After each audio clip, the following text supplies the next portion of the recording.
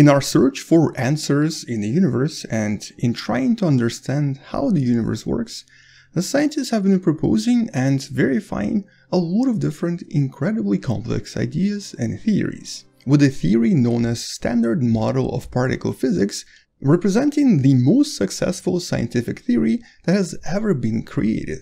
The theory whose main purpose is to explain what the universe is made from how various particles interact in order to create what we observe in the universe, and what forces are responsible for helping all these particles interact. With the main focus in this case being the basic building blocks of the universe itself, the subatomic particles that you see right here. And there is a really important reason for why a lot of scientists believe in this idea and think this is an actual theory potentially explaining the entire universe. Pretty much all of the abstract ideas, particles, and forces proposed in this theory have been so far proven by using a variety of relatively expensive experiments, including these so-called particle colliders. The really large structures whose main purpose is to try to accelerate particles to extremely fast velocities, producing the collisions which can then produce subatomic particles, allowing the scientists to confirm or disprove certain theories. And so far, all of the particle accelerators have been doing a tremendous job. For example, you probably remember the hype in 2012 when the scientists officially confirmed a really old idea known as Higgs boson. The official confirmation of a certain subatomic particle which contributes to the total mass of a lot of other subatomic particles.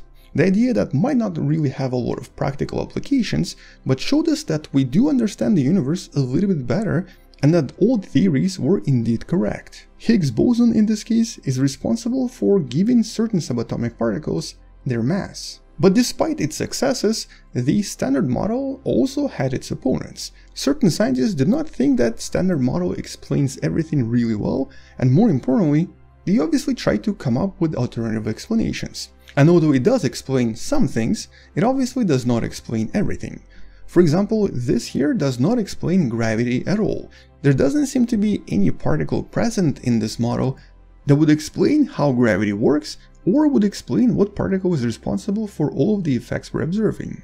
And it's not just gravity that it cannot explain, it also cannot explain some other unusual observations from across the universe. For example, neither dark energy nor dark matter are explained by this idea either even though we believe that the majority of the universe is indeed made out of dark energy and dark matter. So despite its accuracies, it did have certain problems. As a matter of fact, it obviously was not perfect.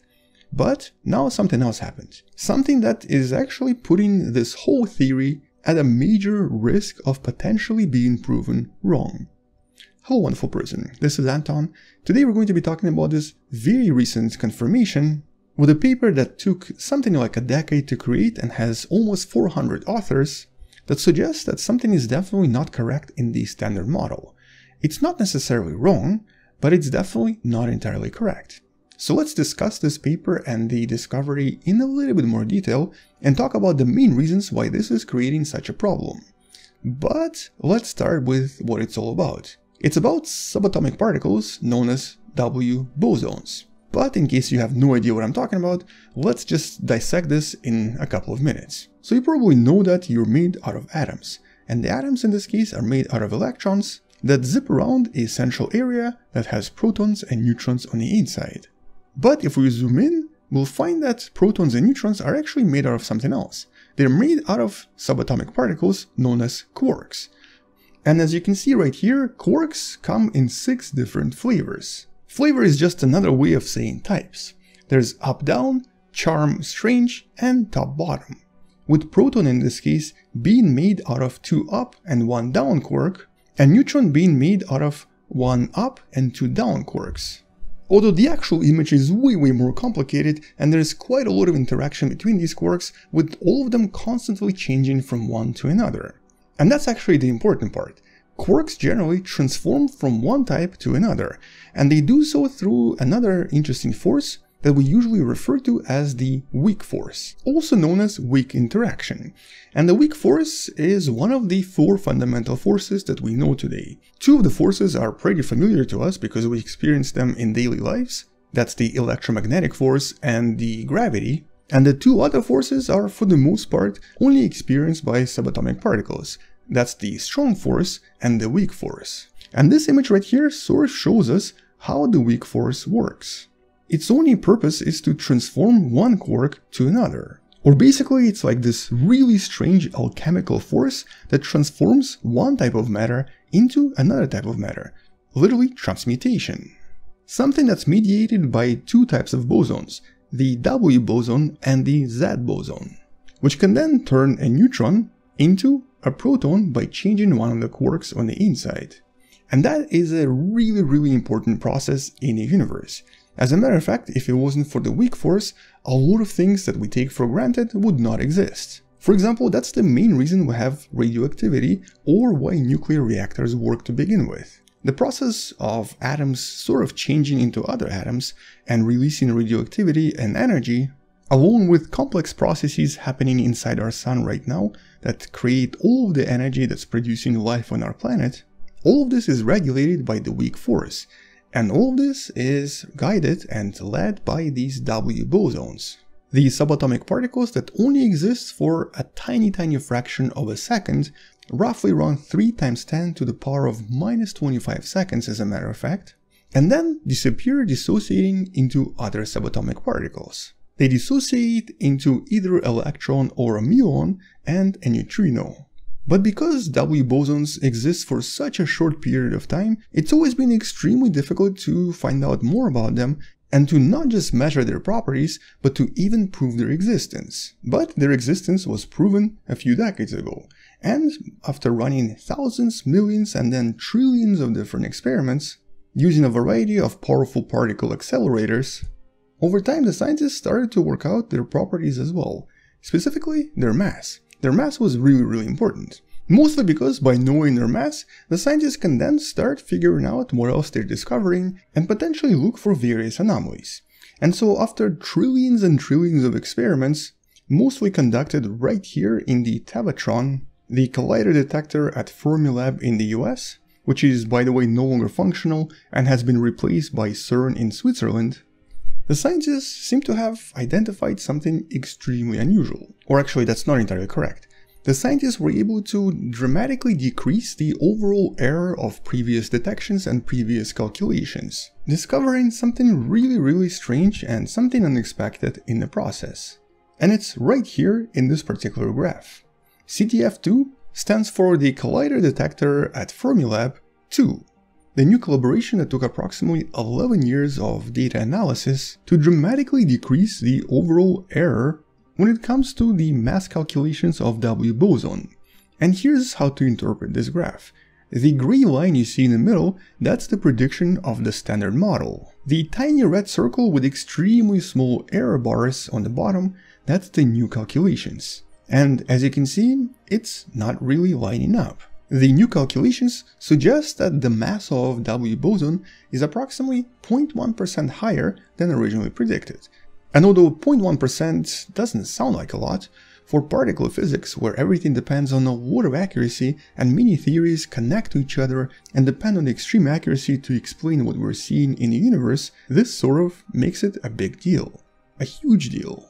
Such a huge deal, as a matter of fact, that certain scientists have already started speculating that it could maybe invalidate the standard model of physics. But that's of course something that I think a lot of scientists agree is a little bit too premature. Mostly because, well, if I go back to the previous graph, you'll notice that this is not the first time that it happened.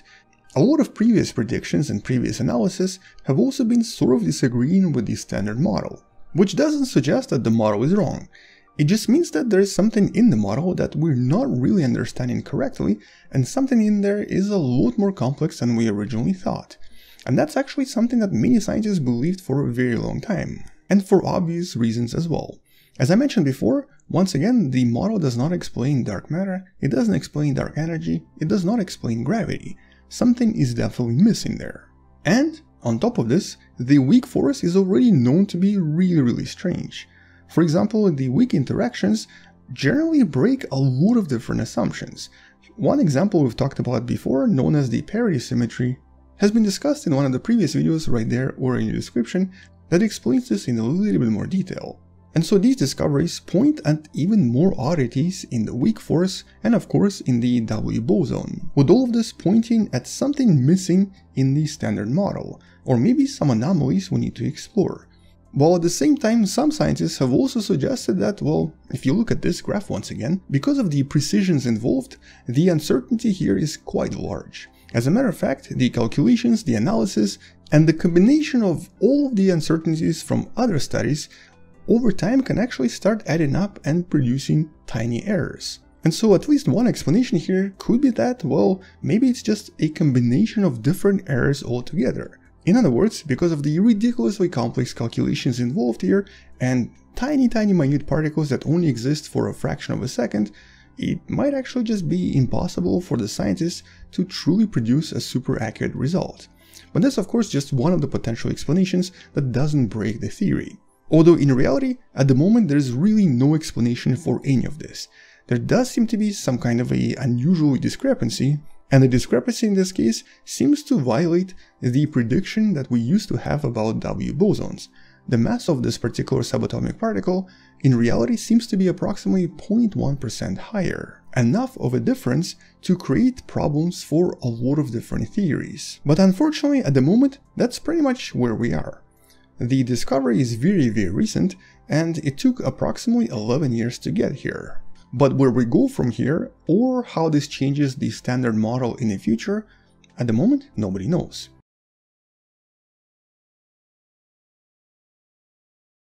Hello wonderful person, this is Anton, and today we're going to be talking about these incredible discoveries in regards to fundamental physics.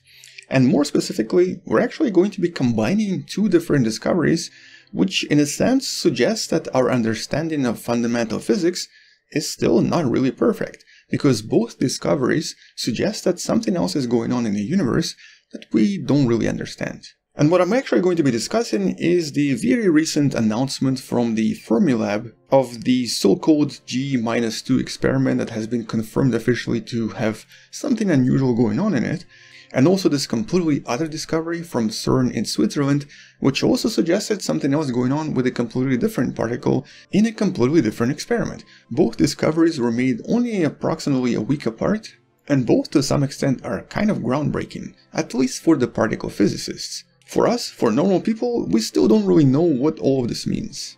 But, as always, let's start with the baby steps. So today, in modern physics, the so-called standard model of particle physics is probably the best model we have for the world around us. Basically, these 17 different subatomic particles you see right here more or less represent what we believe happens in the world around us, at least when it comes to particle interaction, with the idea known as QCD or quantum chromodynamics being responsible for explaining how all of these subatomic particles interact with one another. And over the years, over the past few decades really, a lot of different experiments conducted in various particle accelerators, for the most part, have been consistently proving this idea over and over. All of the theoretical predictions, such as for example the famous Higgs boson, were eventually confirmed by various experiments in, for example, CERN, inside the Large Hadron Collider located in Switzerland. Now all of these experiments over the years, once again, allow the scientists to quite confidently say that our understanding of the world and specifically the standard model of physics, for the most part seemed to have been correct. But the model was obviously still not perfect. For example, it still didn't really explain very well how gravity works or how objects are able to attract each other. It also didn't really explain the mysteries of the universe such as dark matter. But more importantly, there were some experiments that created the results that were kind of difficult to explain. And one such famous example from 1990s was what's known as the Brookhaven experiment, although according to Google, it's also some sort of a VR shooter game, which I don't think I'll ever be playing because it kind of looks scary. Anyway, that one experiment created a tiny problem for the particle physicists, which for the past few decades they've been kind of trying to figure out. But what exactly is this problem and why is it a problem? Well, it really has something to do with the predictions of one of these subatomic particles. And specifically this particle right here known as muon. As you can see, it's pretty much the cousin of electron, except that it's dramatically more massive, like 200 times more massive. But in every other respect, it is very similar to electron. As a matter of fact, other properties like spin and electric charge are exactly the same as an electron, so the only main difference here being the mass. And one of the main reasons we're not really as familiar with muons compared to electrons is actually because we haven't really found a practical use for them yet. Electrons are obviously used everywhere, that's how electricity works. But for muons, one of the only uses we have for them so far are, for example, various types of penetrating scanners, such as ground penetrating scanners, which muons can do much better than electrons, because they're basically more massive and can easily go through matter and thus detect objects much deeper in the ground. As a matter of fact, right now, as I'm speaking to you and as you're listening to me, or more specifically in the area around 1 square meter around you, about 10,000 muons go through that area every single minute.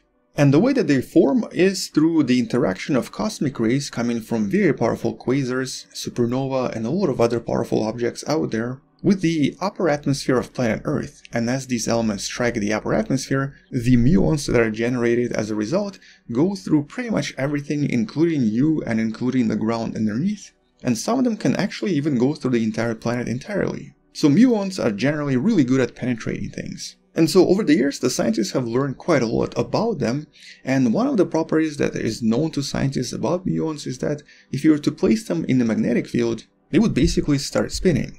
And this spin itself is known as the g factor, with the g factor for muon being g minus 2. So next time you hear someone say muon g minus 2, that's basically what they're referring to. They're referring to this predicted value of a muon spinning inside the magnetic field. But it turns out that this value is actually not really 2 with the main reason being virtual particles predicted by the quantum physics. As these virtual particles start to appear everywhere, they actually interact with the spin of muons and end up increasing the value by just a little bit. So it's not really 2, it's more like 2.002331 and so on. And this value that you see right here was the predicted value from the most recent very very thorough analysis from 2020 that was released by a lot of scientists working together. Now this is a mathematical prediction value and it just so happens that that experiment I mentioned previously, the Brookhaven experiment, found this value to be a little bit different. Something wasn't really adding up. And so for the past few decades, the scientists in different labs were trying to recreate these results with the Fermilab, whose video I'm using here, essentially even getting a completely new super powerful magnet just to study this effect, just to find out if there is something going on after all. And well, as you can probably imagine, after years and years of studies, they finally have the results. And the results, well, let me show you the picture to summarize this. The results sort of confirm the original Brookhaven result and definitely go against the predicted model that was just confirmed last year. And even though the actual difference is really really minuscule, the experimental results here don't really align with the standard model predictions. The difference is quite significant, which means that both experiments found some sort of an anomaly suggesting either A, the 17 subatomic particles we have here do not necessarily explain the whole world around us. There might be some other 18th hidden particle that was just discovered. Or B, something completely different, something that nobody really understands yet, is happening to the spin of these muons, which might be some sort of a fundamental discovery in regards to muons that nobody has ever made before. Either way, for the particle physicists, this is one of the biggest groundbreaking discoveries of the last 50 years. But to make sure that this is a real discovery and not some sort of fluke, because there is still a tiny tiny chance that maybe this was a mistake, and specifically here we're talking about 1 in 3 million chance, the scientists are going to be conducting this experiment 5 times in total. And if after 5 times they still get the same results, well, in that case, there's definitely something going on. And so, in that sense, it's a discovery that doesn't have an explanation or even theory behind it. Nobody really knows what's happening here. But that's just one of the discoveries. Remember in the beginning I mentioned there were two discoveries? Well, the second one is completely unrelated, although maybe somewhat related. And by the way, check out the video from Fermilab if you would like to learn a little bit more detail about this discovery as well. But anyway, so Fermilab discovered one thing, but CERN in Switzerland discovered something entirely different and also unexplained. And in this case, it's kind of related to the main premise of the Large Hadron Collider, or basically its main purpose. Its main purpose is to study hadrons. It's to study the particles that are made out of elementary particles. So in this case, If we take one of the quarks, specifically an up quark, and if we combine it with a down quark and another down quark, we're going to get a neutron. If we combine two up and one down quark, we're going to get a proton. Those are hadrons. Hadrons are basically the larger particles that are made from subatomic particles. But we don't have to combine three of them. What if we combine one up and one down? We still are going to get a hadron, but it's not going to be stable and it's actually going to fall apart, creating something entirely different. And so that's pretty much what CERN scientists have been doing for years and years and years now, and that's kind of the main purpose of the experiments there. They try to create hadrons, they try to destroy them, they try to collide them, and then try to see what happens. But a lot of this is also based on various theories, and many of these theories have been confirmed over and over and over again. And one of these theories is about this one hadron known as beauty meson. Okay, more terms. So this one is basically created from combining one down quark and one bottom anti-quark. So here we actually start using a little bit of antimatter. Although even here you can combine some other quarks to create slightly different beauty mesons. And just generally, to create a meson we need some sort of a quark and an anti-quark. But it cannot be the same anti-quark because then it just eliminates and creates energy. Anyway, long story short, the predicted model for these beauty mesons suggests that they do fall apart, creating an equal amount of electrons and once again muons. And more specifically, they should be producing an equal amount of electrons and positrons, or muons and anti-muons. And so here, if we were to take about 100 of these beauty mesons, with time, after only a few milliseconds, all of them should create approximately 50 electrons and approximately 50 muons. But as this paper that was recently released by certain scientists discovered, they don't. The data from this experiment suggests that a lot more electrons are produced compared to muons. And this once again suggests some sort of a problem with the theory and very likely suggests some sort of an unusual, not well understood and possibly completely unknown to us physics at work. Something that many scientists will be studying for years to come. Now, it could be related to the previous muon discovery, maybe muons are the actual culprits behind both of these discoveries, or maybe there is some sort of an unknown subatomic particle in existence that absolutely no one understands just yet, but at the same time, the real answer is that nobody knows. And this is of course the beauty of these modern experiments. Today we reached a point where the experiments are so advanced and are so precise that it's very difficult to argue with some of these discoveries afterwards. And if the scientists have detected something, and especially if they've done it several times, it might indeed suggest new physics at work. And because we haven't really changed the fundamental physics for about 50 years now, in some sense for particle physicists, this is a groundbreaking discovery. But for us, for the normies, for people that don't really do particle physics, well, we don't really know what to think of this just yet. I mean, like I mentioned before, we don't even use muons in real life just yet. We don't really know what they're used for or what they can be useful for. But if muons one day do become as important as electrons, maybe then we might appreciate these discoveries a little bit more. For now though, it is more or less theory only. We still don't really know where all of this will lead and if it's actually going to help us explain the universe around us. Nevertheless, super exciting discoveries, very unusual how both discoveries happen around the same time, but hopefully in the next few years we'll know exactly what's happening here.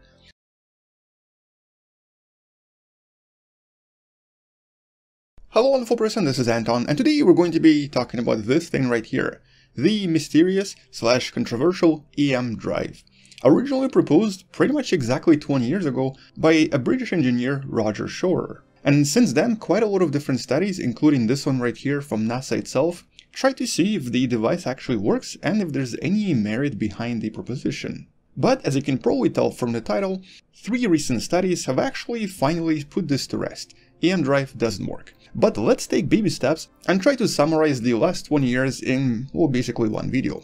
So first of all, Roger Shawyer actually created a company known as SPR Limited that also patented this technology pretty much 20 years ago. You can read more about the original propositions and also learn a little bit more about SPR Limited, the company that Roger Shawyer created to patent this device, by following the link in the description. But just to summarize all of this, Here's sort of what all of this would look like. EM drive, also known as Q drive or RF resonant cavity, or the impossible drive, sort of works like this. At least according to the author. You would have a magnetron producing a lot of different microwave radiation that enters this cavity that sort of looks like this. It's smaller on one side, bigger on the other side. And the microwaves on the inside start to generate what's known as the standing wave, resembling something like this. Now, according to the author, according to Roger Shawyer, this will produce more force on one side, larger force on the other side, and in essence will then produce a push in one direction. So this type of a device is also known as microwave resonant cavity thruster, with the explanation itself being essentially that you get differential radiation pressure on two different ends. But there's a problem with that explanation. It sort of violates the fundamental physics of conservation of momentum. In other words, in simple terms, it's sort of like sitting inside your car and trying to make your car move by pushing not onto the back of the car, but literally from inside the car and pushing onto the windshield. Naturally, this would probably not work. Another really interesting analogy here is with a typical sailboat. Imagine putting a fan on the back of the sailboat and then blowing that fan onto the sail. Would that make your sailboat move? Now I think most of us would probably say no, however interestingly there is a video from Mythbusters from about a decade ago that tried to simulate this using this model you see right here. And interestingly enough they were able to create a little bit of a push by turning the fan left and right, and essentially by blowing into different sides of the sail. Now it's not entirely clear if they could produce the same effects in a more enclosed environment, chances are that it's not going to work, but in this particular case it worked and it was a very interesting experiment. I'm going to link one of the videos in the description below. And so is something similar happening in this case? Is there some sort of an unusual effect that we can't really think of right now that seems to be generating a little bit of force by having two sides that are different in size? And if so, how exactly does it work and what's really producing the thrust? Well, first of all, several experiments have already been conducted um, a few years ago, with the bigger one being from NASA and another one being uh, from a Chinese university, and both of them initially claimed to have some positive results. And because the NASA's experiment was conducted in um, almost complete vacuum, meaning that no air pressure and no airflow would be responsible for any of this, a few years ago, because of this experiment, a lot of people started talking about EM drive once again. But a lot of physicists and a lot of scientists were not convinced, because there was still this violation of momentum, and more importantly because neither the original engineer nor the NASA scientists here had any explanation for what's happening here. One of the potential explanations was essentially from the quantum physics field. The British scientist who I previously mentioned in my quantized inertia video tried to explain this by using the so-called Casimir effect. Now this is actually a well-known effect uh, where we know that there's a slight pressure, or to be more specific, a sort of similar idea known as the Unruh radiation.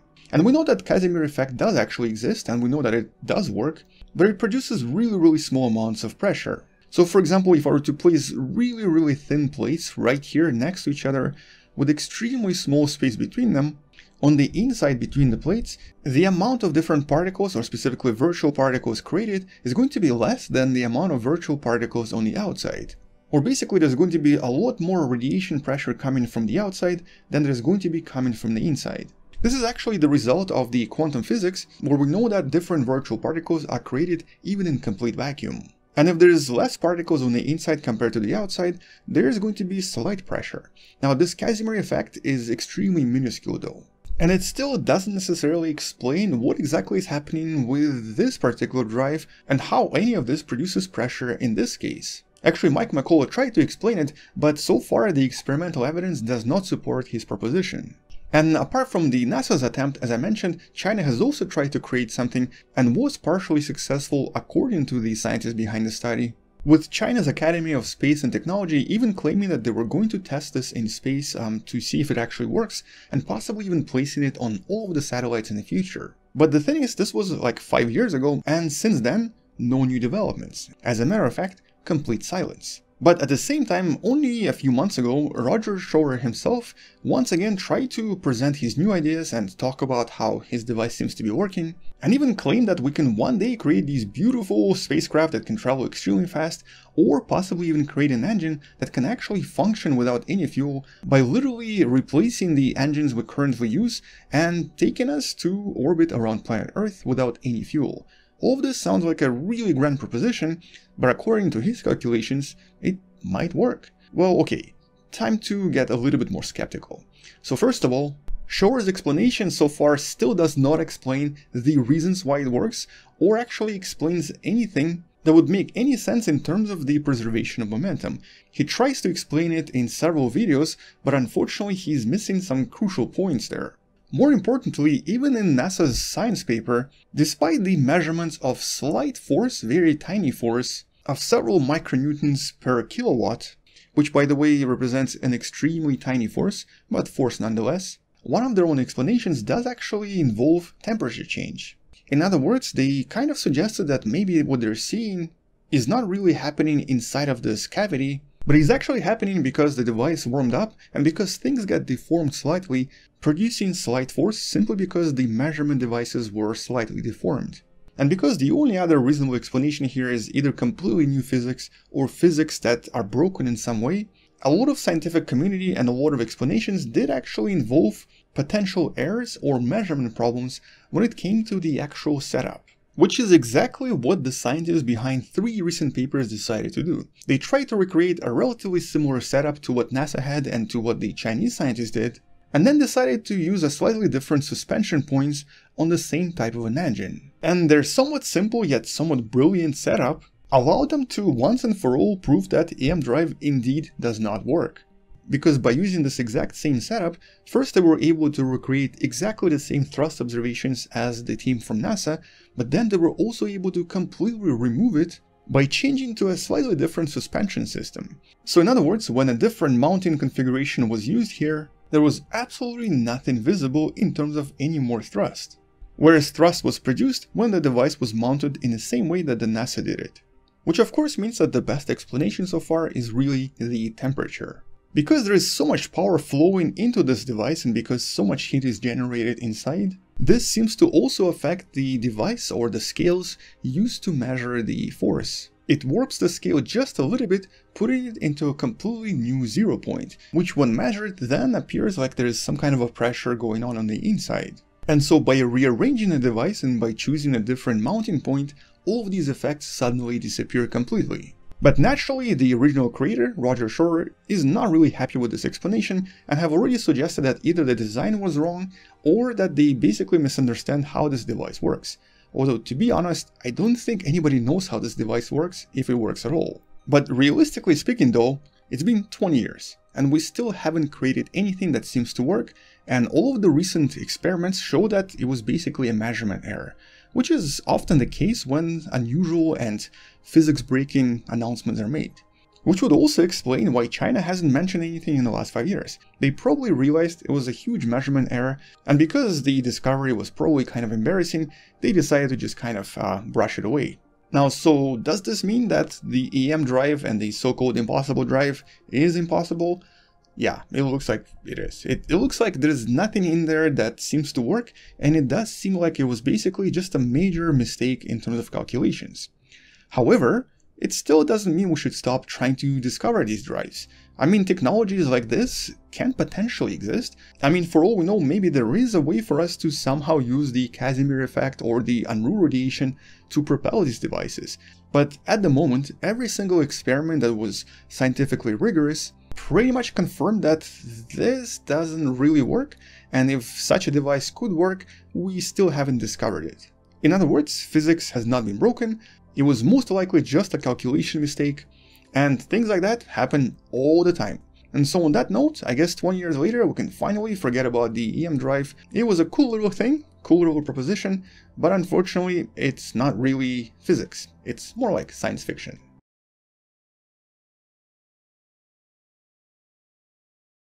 In order to study the universe and in order to understand how things work in the universe, we obviously also have to study the actual particles everything is made out of. The Lego blocks of the universe, if you will.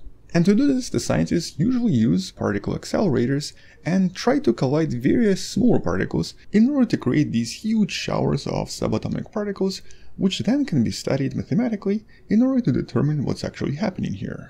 So kind of like taking a bunch of Legos, smacking them together, just to see what pieces fly out, and to see what's all of this made out of. And that's of course how the scientists eventually realized that all of the protons and all of the neutrons are made out of even smaller stuff, things we refer to as quarks. with pretty much all of the science textbooks today showing protons as this. Two up quarks, one down quark, a bunch of squiggly lines, known as gluons between them, surrounded by a shell that represents an electron. And ironically, very recently, we've talked about one of the major discoveries in regards to this structure that actually helps us understand what's going on inside protons and neutrons a little bit better. With the most recent visualization of all of this showing us that the proton probably looks like this. These unusual white formations, these clouds, these are gluons. That's where most of the mass of the proton is. If you were to somehow see through this, and if you were to remove these gluons, you would then start seeing some of the quarks, with the quarks essentially appearing this way.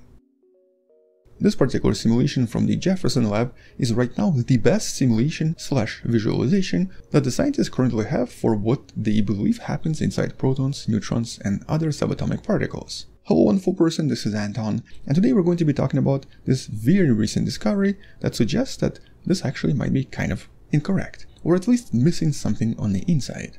There might be a major part that's not showing here a part that was only recently discovered by using analysis using very complex machine learning.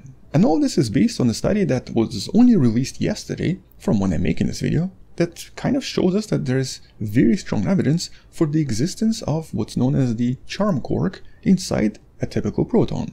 And if correct, that's a huge discovery, a tremendous discovery. It's a discovery that will require rewriting a lot of textbooks out there. But as always, baby steps. So as I mentioned in that previous video that you should probably check out if you'd like to learn more about protons, neutrons and quarks, this by itself is already incomplete. These squiggly lines here that represent gluons that connect quarks in reality are the major part of the proton. So these quarks that you see interacting with one another, they only represent like 1% of everything, all of the energy inside a typical proton. 99% are gluons, with these two types of quarks, up quarks and down quarks, forming the rest. And if we were to take a look at all of the known subatomic particles that basically make up the matter as we know it, it would sort of look like this. And here as you can see there are six major quarks. The stuff that's familiar to us is mostly made out of up and down quarks surrounded by the electrons.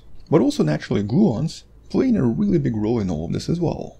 And in the last few years, various experiments such as from the iconic CERN, the largest particle accelerator we have right now, the scientists were able to accidentally create some additional particles, sometimes even containing four quarks, with many of them being made out of strange quarks, charm quarks, or essentially quarks that are not in the same generation as the quarks that make up most of the matter. Now like many times in science, the names here are unfortunate. Naming them up down, charm strange, top and bottom doesn't really explain anything about them, and actually confuses a lot of people trying to study them. So instead modern scientists usually just use the first letter. So for example, C, S, T, B, U, and D.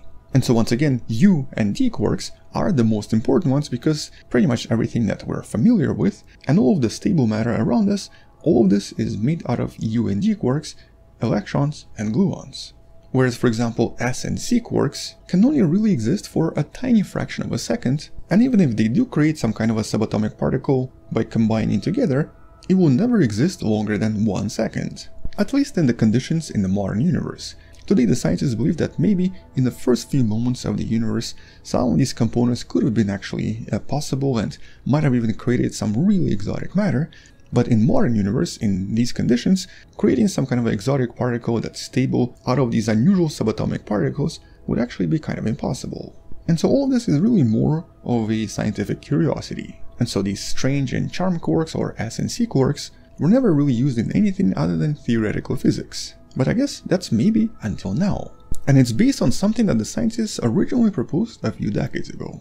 So initially, back in the 60s, the first particle accelerator experiments finally revealed that there are smaller particles inside protons, and pretty much most of the papers proposed protons and neutrons to be made out of these three quarks. This was eventually proven through thousands and thousands of experiments in various particle accelerators on the planet. But these were never 100% accurate, and there was always a little bit of a discrepancy here and there. That's of course just based on the nature of these experiments, because here we're talking about super tiny particles and collisions that are always slightly different. As a matter of fact, this image from CERN even sort of shows us that sometimes even other quarks could be detected in various collisions, even though theoretically we don't really expect to find them. Nevertheless, the modern image of a proton has always been shown as this. We have three major quarks, and potentially some other subatomic particles produced here and there, but only temporarily, with once again the majority of stuff being gluons. And all this is of course because in these tiny tiny particles, it's really the quantum mechanics that governs everything. Here, particles appear and disappear all the time, and the structure itself is entirely governed by the probability and by quantum mechanics. And so the production of other matter and antimatter particles can actually happen inside the proton. But at least one paper from the 80s has already suggested that there might be a permanent member that's present along with the up and down quarks. Or in other words, that the proton might contain not three, but even five different quarks, with charm and anti-charm being the additional members. Back then this was highly debated, but no conclusive evidence has ever been found. And really mostly because of these very powerful collisions, with all of this energy producing all kinds of quarks in the process. And so sometimes it's kind of difficult to separate minute details. But the recent analysis did something a little bit different.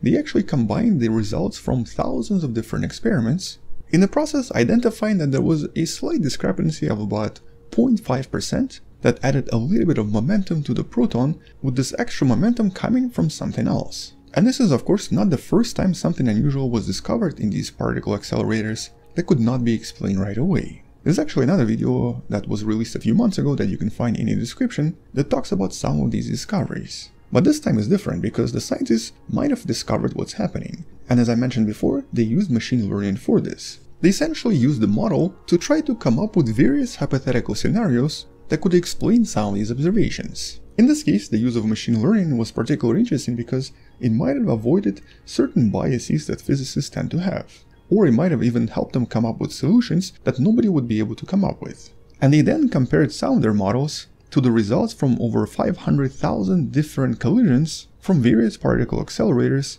that ran experiments in the last few decades. In the process discovering that just having three quarks would match these results with only 0.3% accuracy. But by introducing charm and anti-charm quark, which exists somewhere in a proton on more prominent basis, all of this suddenly made so much more sense. Although at the moment this has only been proven with what's known as 3 sigma level. Basically it's an interesting discovery, but it's definitely not a concrete proof and not an official discovery just yet. Nevertheless, a really intriguing proposition. And of course, if correct, it would suggest that a typical proton is actually what's known as a pentaquark, something we've discussed a few years ago, and something that was always believed to be a kind of an exotic particle. But maybe it's not. Maybe it's a lot more common than we actually think. And maybe the structure of the proton that we already thought was pretty complicated has more quarks on the inside and thus way more complexity.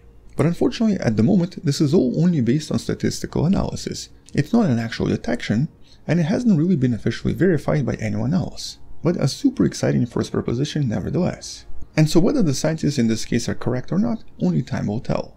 But does this actually change anything we know about protons in terms of, for example, practical use or in terms of what we detect from around the universe? Well, at the moment, the only possible detection we might have that could have slight differences in what we're seeing is from the idea we refer to as the cosmic showers. When very powerful cosmic rays from outside of the galaxy, very often from various blazars and very powerful black holes, strike the upper atmosphere and by colliding with various protons and neutrons, end up producing a kind of a shower of subatomic particles. Now because they do actually collide with protons, if those protons contain charm quarks, what we observe on the planet could be a little bit different and might end up in the production of certain subatomic particles we don't expect, something that could be confirmed with one of many neutrino detectors located on the planet. Although in reality, it's really hard to tell right now what any of this leads to and what potential discoveries the scientists will be making if this is actually correct. Still, a pretty exciting discovery, something that might require future science books to be rewritten, and I guess more importantly, an additional level of complexity to the already ridiculously complex proton and neutron that has so much stuff going on inside of it, even though most school textbooks usually kind of leave it at that.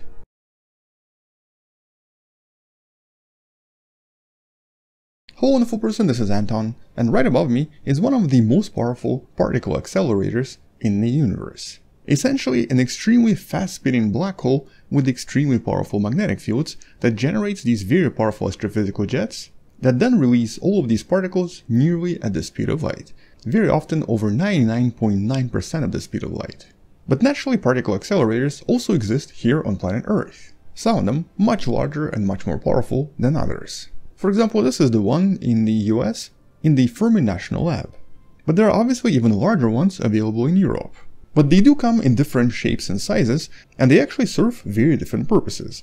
This one here is mostly used for research. Smaller ones, or the ones that are usually not circular, are often also used for various scientific purposes or even for medical purposes. Here's an example of a hospital accelerator that produces extremely powerful X-rays, usually by accelerating electrons, for either scanning purposes or more often in various types of treatments, often involving some kind of a destruction of tissue that requires a lot of precision. As a matter of fact, nearly 30,000 different particle accelerators exist on planet Earth and are used for a tremendous amount of various reasons, with many often used for some kind of a scanning purpose, not necessarily for research purposes.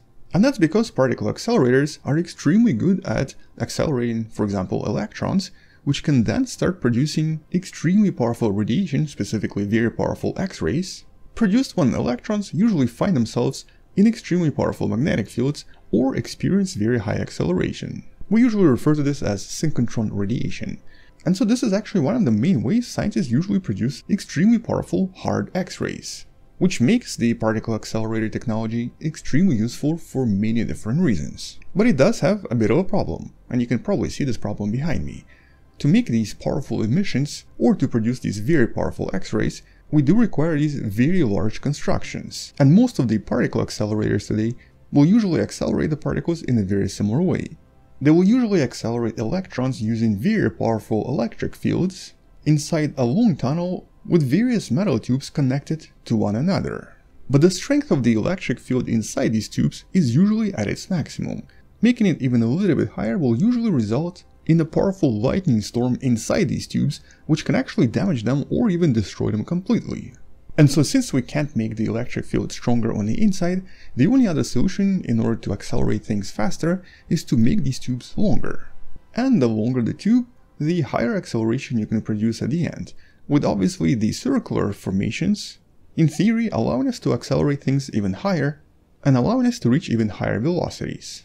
But making these kilometer or several kilometer long structures is obviously first of all not cheap, also not really efficient, and involves a lot of financial and logistical issues. But these X-rays, these hard X-rays, are becoming even more important in a lot of different fields. So for example today they're used by various large companies in the field of electronics research, various types of medical and drug research, or any other kind of research involving molecular structure where you actually have to be able to produce the image of what it is you're building. You can actually learn about some of this research in one of the links in the description. This is from the Stanford University and their extremely powerful LCLS, Linac Coherent Light Source.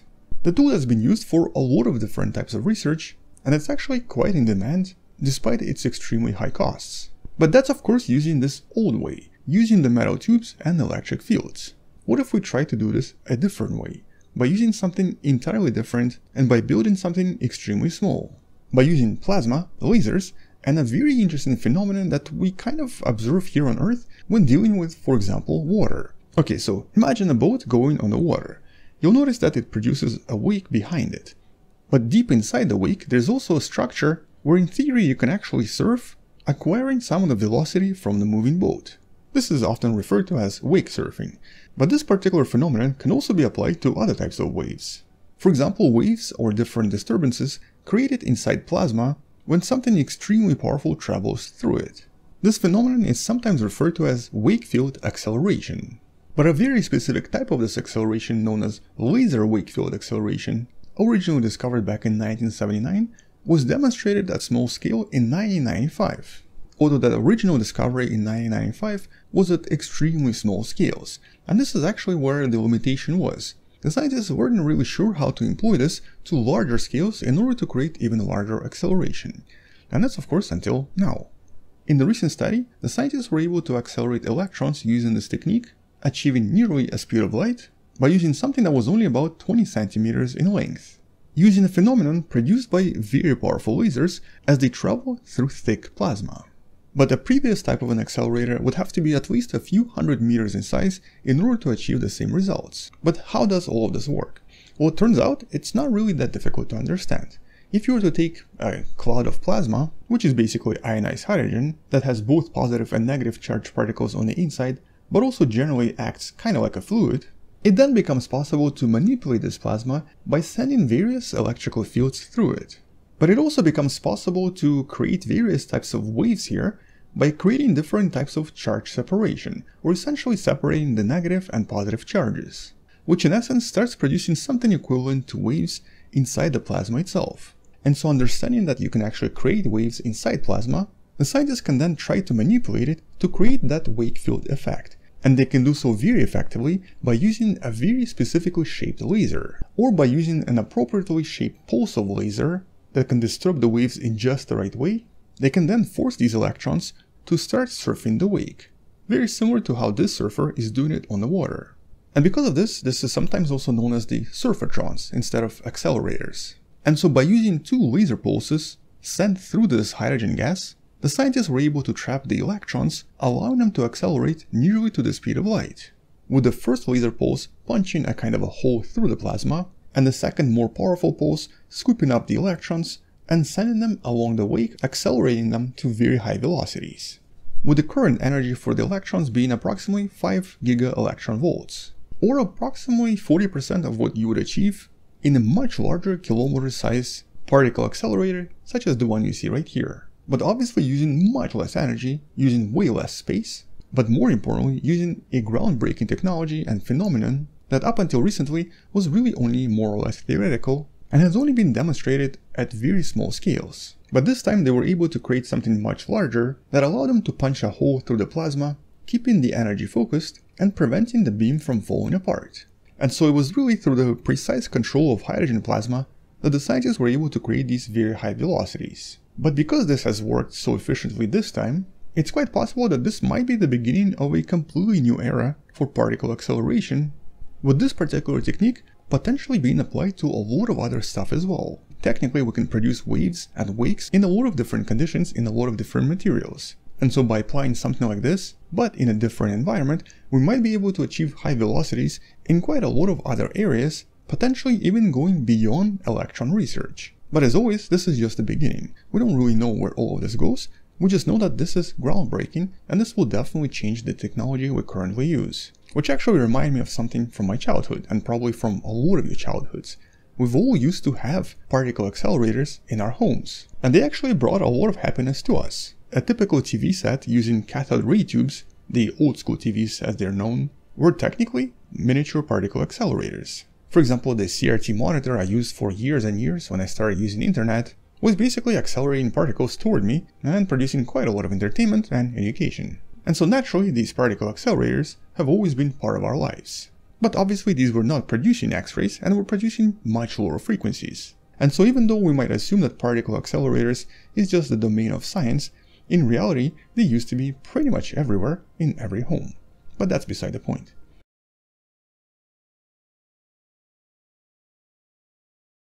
Hello wonderful person, this is Anton, and what you've seen right here is the world's first video of what's known as a time crystal. Now it's a complex topic, but we're going to dissect exactly what it means, and this video will hopefully help you understand the significance of this discovery and this particular study that's found in the description below. First of all, what exactly is a time crystal? Well, it's a crystal in time. But okay, that definitely doesn't explain anything. Let's start with crystals. You might already know what crystals are, but just in case you didn't, it's essentially different types of materials that form very specific geometric shapes based on the underlying structure. Such as this crystal right here known as galena, or the more famous example right here known as quartz. And the formation of these geometric structures is essentially related to the underlying atomic structure of the material in question as it solidifies and forms this solid structure. And so for example, let's just say we wanted to take a look at the molecules of the galena crystals. The structure here would look something like this, and as the structure grows and becomes larger and larger, the octahedral geometry starts forming these relatively large cube-like formations and sometimes octahedrons, formed because all of the molecules on the inside have exactly the same structure as well. Quartz on the other hand has a different molecular structure and thus results in a more hexagonal shape. And that's essentially how all of these crystals grow in a nutshell. As something solidifies and as the molecular structure stays constant, they grow into these large shapes, turning into large geometric objects like this really cool halite crystal that's around 16 centimeters in diameter. And on the inside it kinda looks like this.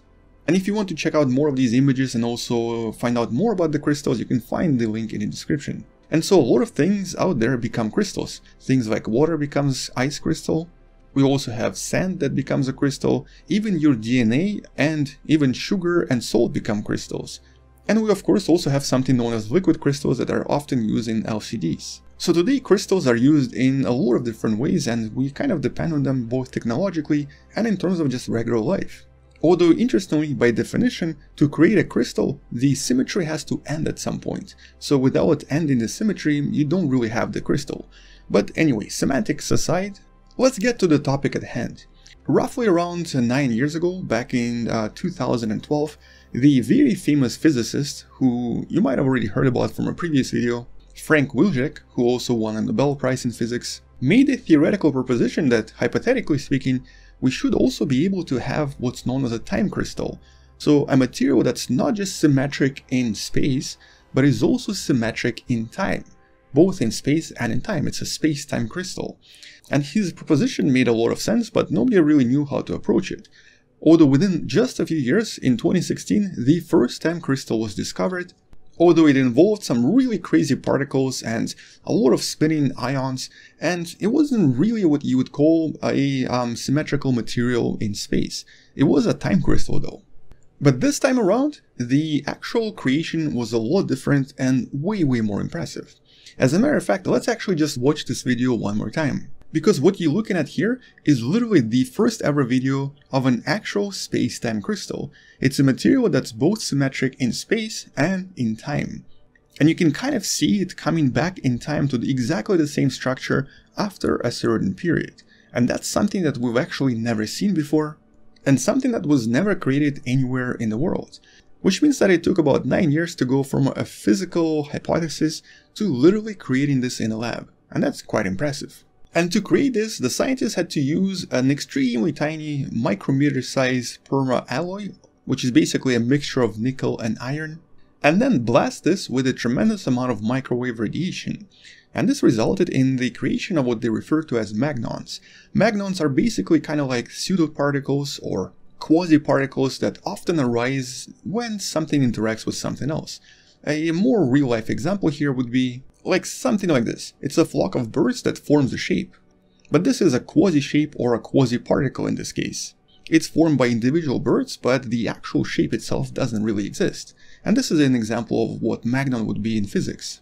And what we're actually observing here is a kind of a recurring periodic magnetic structure inside the crystal that then remagnetizes once in a while. And that's because iron nickel material is quite magnetic, but they were changing the amount of magnetism by blasting this with microwave radiation. And so in this case what we're looking at is essentially a recurrent structure. It's a structure that sort of moves around a lot and then comes back to the original position after a specific time, thus creating the space-time crystal. But just like with a lot of similar ideas, kind of like Einstein back in the 1920s, Wilczek also predicted this to be very hypothetical and probably not really real. He didn't think it existed in nature or could be created. Einstein likewise also did not believe black holes were real. But now we know that both seem to exist and both are possible. And that's actually the mind-blowing part. It's the idea that someone had in their mind that was later created in a lab. And what makes this even more groundbreaking is the fact that this is at room temperature. These are not exotic components, these are not elements that are like near absolute zero. This is just regular metal stuff at regular room temperature. Which is actually really exciting because one day we'll definitely find a way to use this somewhere in the lab in some way or another. And one of the implications from the study already is that we could potentially use this in quantum computing. Because time crystals obviously allow us to predict what's going to happen in a specific period of time, we can use them to predict quantum effects.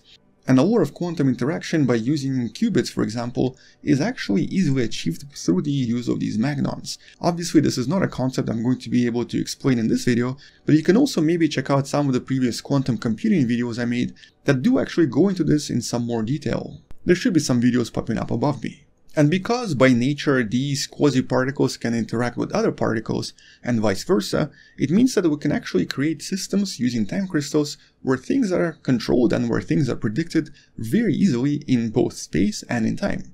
Obviously, we already know how to use normal crystals, the space crystals. For example, your phone right now might be based on LCD, liquid crystal technology. But this right here creates a completely new field of study and also potentially a completely new field of various products we might have in, I guess, three or four decades from now, something that nobody right now can even imagine. And because this pattern was clearly appearing and disappearing on its own, without any changes in the microwave radiation, it only suggested that all of this was most likely quantum in nature. It probably related to the quantum spin or some other quantum element present inside of the molecules of this material.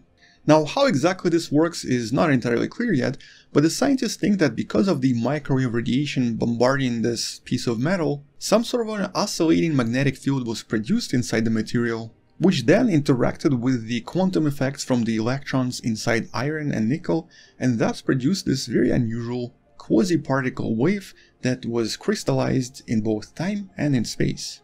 And so here I guess it's important to kind of note that it's not really physical time crystal. It's not really made out of real molecules. Here it's made out of a quasi-particle and in this case of something related to quantum effects inside the atoms. And the other thing to note here is of course the camera that had to be used for this experiment. Apparently it's an extremely complex X-ray camera that was made specifically for the experiment. As you can see here, it actually allows us to see every single wavefront even though these are extremely tiny in size, only nanometers in size, and it shows us absolutely everything with relatively high resolution, about 20 times better than any light microscope can produce. And all of this was also filmed at around 40 billion frame rates per second, roughly around a billion times more than the video you're watching right now. So it's definitely a really cool discovery and a super cool experiment. But what exactly we're going to be using these crystals for, only time will tell.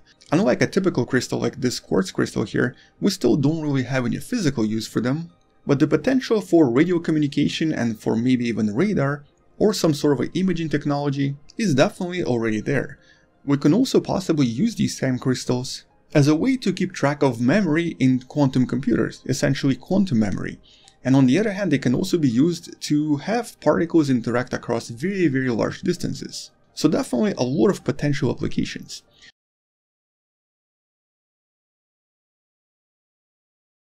Hello wonderful person, this is Anton, and today we're going to be talking about a pretty unusual and a pretty interesting discovery of a potential third type of subatomic particles.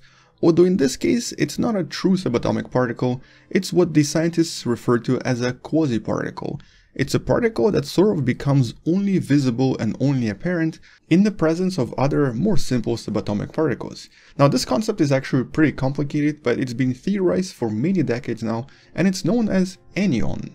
And it looks like finally, after years and years of speculation, the scientists have been physically proved that they can exist, and they do form a kind of a third realm of particles that now have to be investigated in a lot of detail. And although by itself this whole concept is actually extremely complicated, I'm gonna try to explain it in relatively simple terms and also give you a practical reason for why this is actually important. The reason being quantum internet and quantum computing, something that a lot of different countries and a lot of different universities are currently actively trying to develop.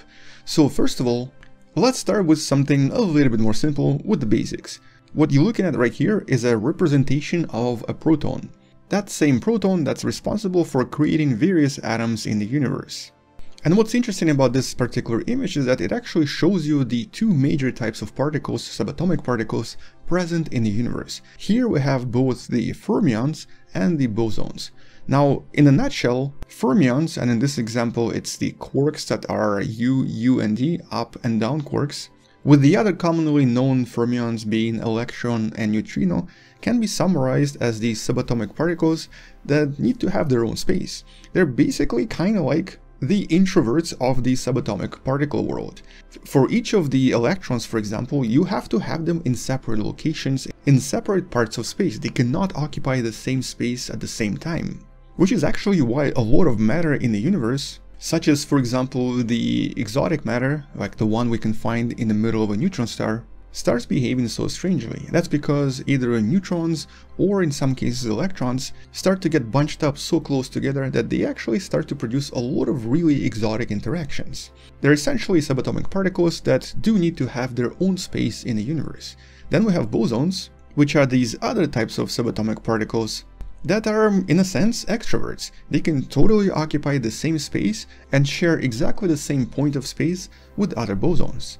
And in this image, the bosons are represented by these squiggly lines in between the quarks. This is what we refer to as gluons. The gluons in this case are responsible for essentially kind of connecting these quarks together. But from all of the bosons, you really just have to think about photons, the, you know, the stuff that produces light we can technically shine exactly the same light at exactly the same spot and it's totally capable of existing in the same spot at the same time without causing any exotic interactions or without causing any serious problems to anything in the universe. Something that fermions, like electrons, cannot do. So this is basically the main difference between the fermions and the bosons. And in general, fermions and bosons pretty much explain all of the interaction we see in the universe with some minor exceptions. And for the most part, all of the visible matter in the universe falls under these two categories, and a lot of the interaction of the matter can be explained using either the fermion or the boson. And for many years, scientists have actually thought that maybe this is basically it, at least for our universe, for our three-dimensional world. But several physicists, specifically several theoretical physicists, did not really agree with this because they also realized that if you were to reduce one of the dimensions, in other words, if you were to turn three dimensions into two dimensions, you suddenly have a lot of these other unusual subatomic particles coming into existence and acting in very different ways. And one of the main proponents of this, and also the first person to actually kind of even explain all of this, is this scientist right here who wrote this paper, you can find it in the description, Dr. Frank Wilczek, who essentially even kind of coined the term anyon to explain that, you know, anything can go on in these conditions and anything can happen. It was really more of a play on words. But over the years, more and more scientists started to realize that maybe he was actually onto something. And specifically, they started to realize that by having only two dimensions, things like, for example, fermions, like electrons, would actually start acting a little bit differently and would start producing these unusual effects, at least in theory. This wasn't really practically proven and it was actually very difficult to prove as well. But the theory behind this was so solid that more and more papers started to come out in regards to this, started to explain how all of this could work, and most importantly, started to produce devices that can actually prove all of this and use these effects from these anyons to possibly use them in some kind of a practical tool. And one of these practical experiments has actually been conducted by Microsoft, whose team is now convinced that this is maybe the future of quantum computing. And there's a really good reason for this. And that reason has to do with, in some sense, the definition of what anyons are. So, in a sense, let's try to imagine what all of this means by using some of the images from this paper you can find in the description. In a normal three-dimensional environment, I can essentially take two particles and have one of them orbit or move around the other without really having it collide with that particle. So for example, right here, these two random particles, in this case it's just golf balls, can more or less coexist with one another because of the third dimension. Even if I start trying to decrease the distance between them, they can always find a way to not really collide with one another and not to be in the same spot. And if we, for example, think of electrons, this means that these electrons can basically coexist in the same 3D location without really being in the same spot, which they're not allowed to do because they're fermions. But turns out things change completely once you remove one of the dimensions and force these electrons to do all of this in two dimensions. Which is pretty much what the scientists in this recent experiment were able to do by using this relatively complex device. When there's only two dimensions involved, at some point the two electrons are actually kind of forced to be in the same spot which ends up producing some really strange effects. The two electrons now start acting as this system. They basically become a kind of a joint system acquiring their own rules that are not really truly fermion rules and not truly boson rules. In other words, the system now becomes something completely different. It's neither fermion nor boson. And in this case, it even starts to meet all of the theoretical predictions and descriptions of the theory of anyons. Which basically suggests that by placing electrons in a two-dimensional environment and by forcing them to do things they shouldn't be able to do, we are able to create these quasi-states, these anyon states, that acquire their own properties and start acting as a kind of a quasi-particle with its own new rules and its own physical properties. And that's what makes this somewhat unusual and also extremely interesting. And from the perspective of quantum computing, what makes anyons especially interesting is that they seem to actually possess what's known as memory especially when it comes to this twisting or this spinning that you see on the screen. And the easiest way to explain why this is important, let's take a look at this example again. So right here we have these two golf balls in this certain position. Let's just imagine that these are electrons, although that's probably not the best analogy here. Now we want to recreate this state again, so in order for us to do this, we actually have to have this ball move around once, and I guess somewhere around here, we are now back to the original state. So after one spin, it's back to its original position and location where we can kind of say that nothing has changed. But when it comes to these anyons, this whole spin situation is a lot more complex.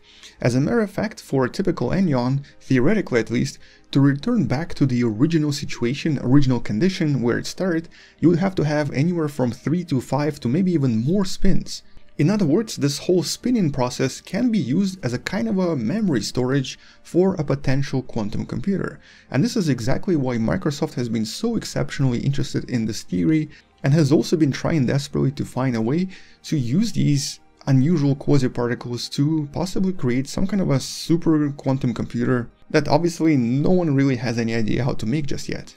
And this type of a property is really important for any kind of a quantum computer, mostly because retention of information and also retention of any data in quantum computing is extremely hard. Quantum particles have a tendency to just do their own thing. They pop in and out of existence, for example, they tend to have relatively low accuracy. But if you can find a way to control the actual memory of the quantum computer, and to have a system where the quantum information storage becomes more predictable, this changes the game completely. This now becomes a much more practical way of creating something that we can actually turn into, well, in some sense, another informational revolution, going from the classical computing age to the quantum computing age.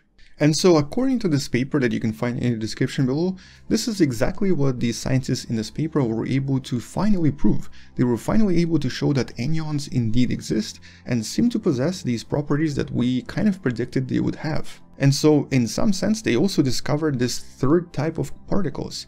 But these particles are not really true particles, they are quasi-particles. They're just this new state of subatomic matter that only exists if other particles are already there. In some sense, you can think of it as, for example, a snowflake or any other complex shape. This shape by itself is formed by tiny water molecules that connect to one another in such a way that they actually form this very beautiful fractal formation. But this fractal by itself is a kind of a quasi-shape. It's a shape that arose out of the existence of other smaller particles. And that's kind of what anyons are in a nutshell as well. They're not really particles by themselves, they only really become apparent and start existing when you take electrons, place them in two dimensions, add a lot of magnetic field to this, cool them down to practically absolute zero, and then have them interact with one another. That's when these anyons become apparent and are basically formed by the collective behavior, collective action of these individual electrons. But practically speaking, we're still really far from our ability to use this knowledge and to use these resources to construct an actual computer. We're still years and possibly even decades away from even the first attempt to use all of this to create some kind of a practical quantum computer that can actually use this as a source of memory. Right now, all of this is very, very theoretical and still needs so much more work and so many more studies before all of this can come together and create something functional and something practical.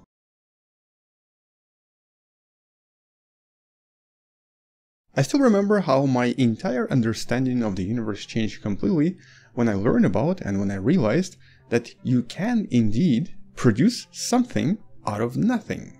Or in other words, you can actually create matter out of complete nothingness. Which by itself is already quite mind-blowing, but just the fact that it was proven so many times in the past makes this concept even more intriguing. And more importantly, it also transforms our understanding when it comes to the formation of the universe.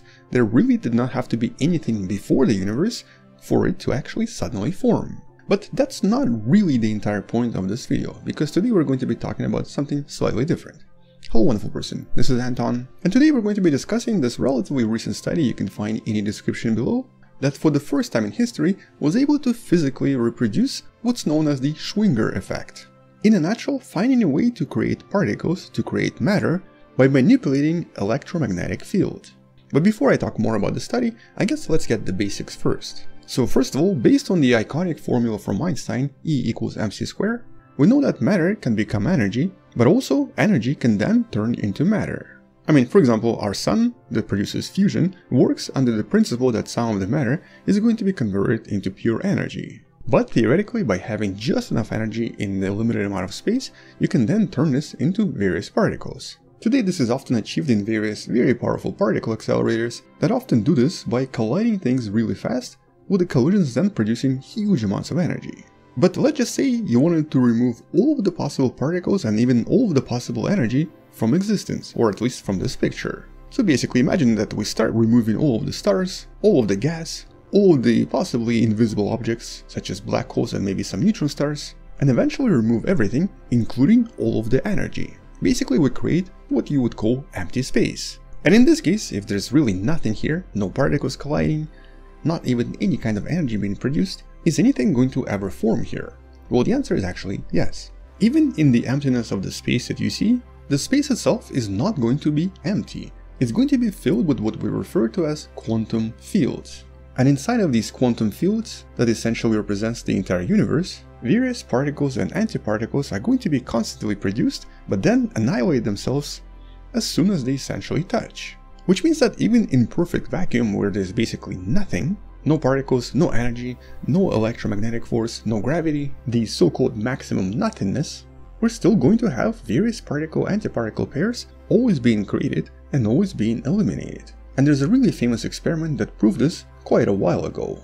And the experiment works as follows. Take any parallel plates, in this case conductive plates, and place them relatively close to one another. Now theoretically, we only expect the force to be experienced between these plates to be gravity. Basically the mass created by the plates should maybe attract them to one another.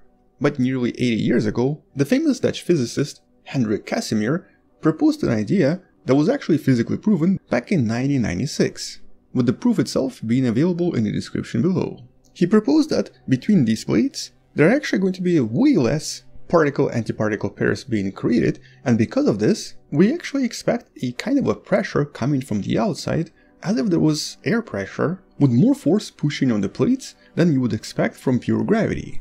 And something that was then proven several times in different studies. We know that Casimir effect seems to work, which means that the particle-antiparticle pairs are actually being created everywhere, even in complete vacuum when there is nothing there, the actual space is not really empty there's always going to be some amount of field energy that's going to exist in every volume of empty space. But because of the weirdness of quantum mechanics and because of the uncertainty principle formula that you see right here, there is no true way to know how much energy or even where exactly all of this is going to be produced.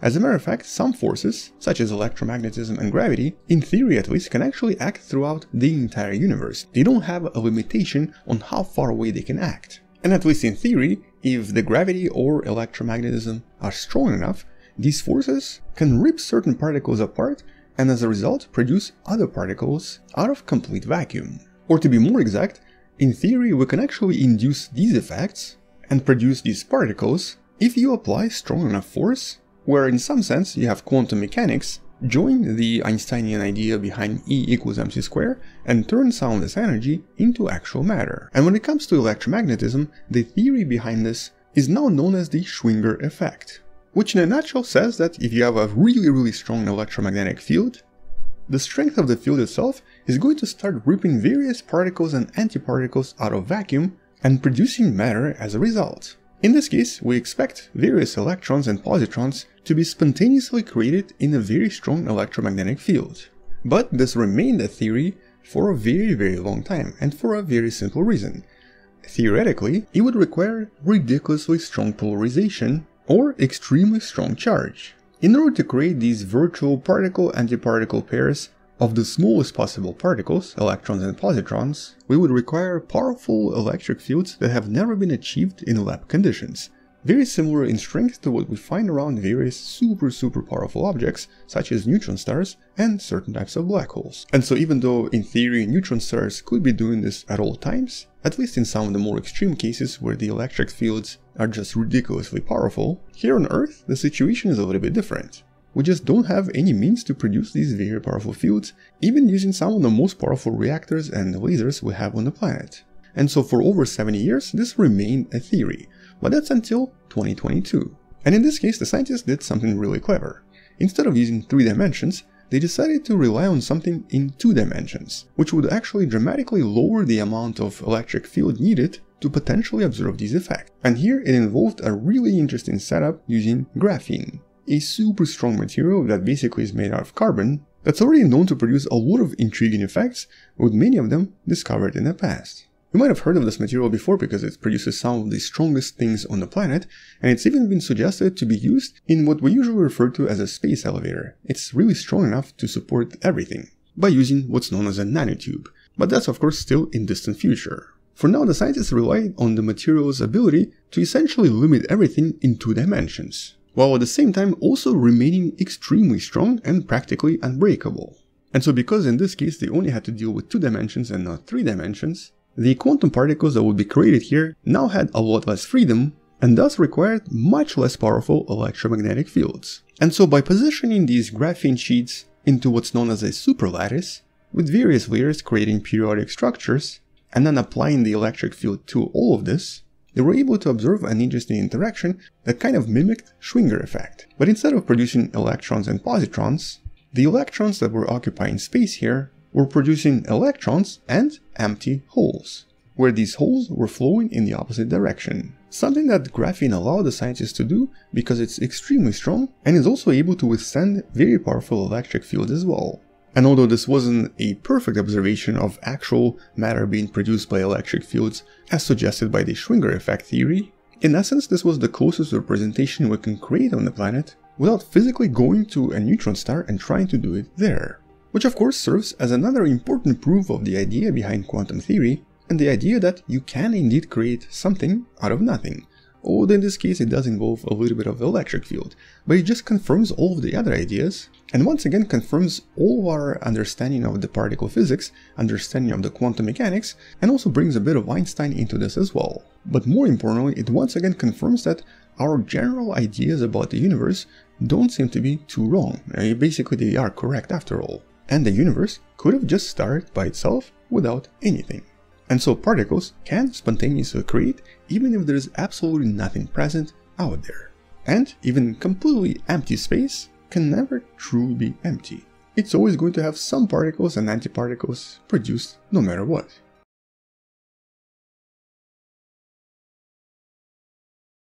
Well, let's start the video right here on Google Earth. I wanted to show you this very interesting guided tour that you can find here by typing CERN. A guided tour that essentially takes you to the largest particle collider on the planet, the CERN Collider. And here you can kind of explore what all of this looks like from the perspective of an engineer or a scientist working here, or you can kind of zoom in, exploring the city itself, admiring the entire infrastructure that was created in order to make this particular project operational.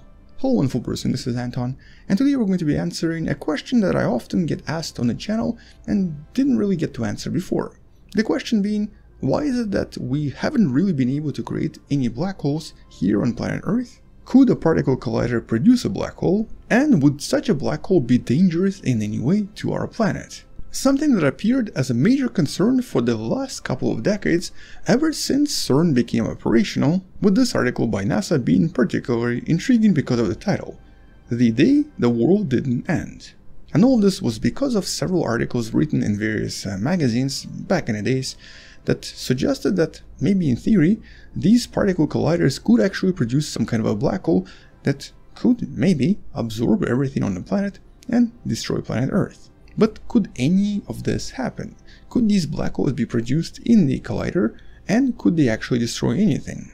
Well, if you're about to click away from this video, the answer to all these questions is no. But let me explain to you in more detail. So one of these concerns was actually because of how powerful CERN has become.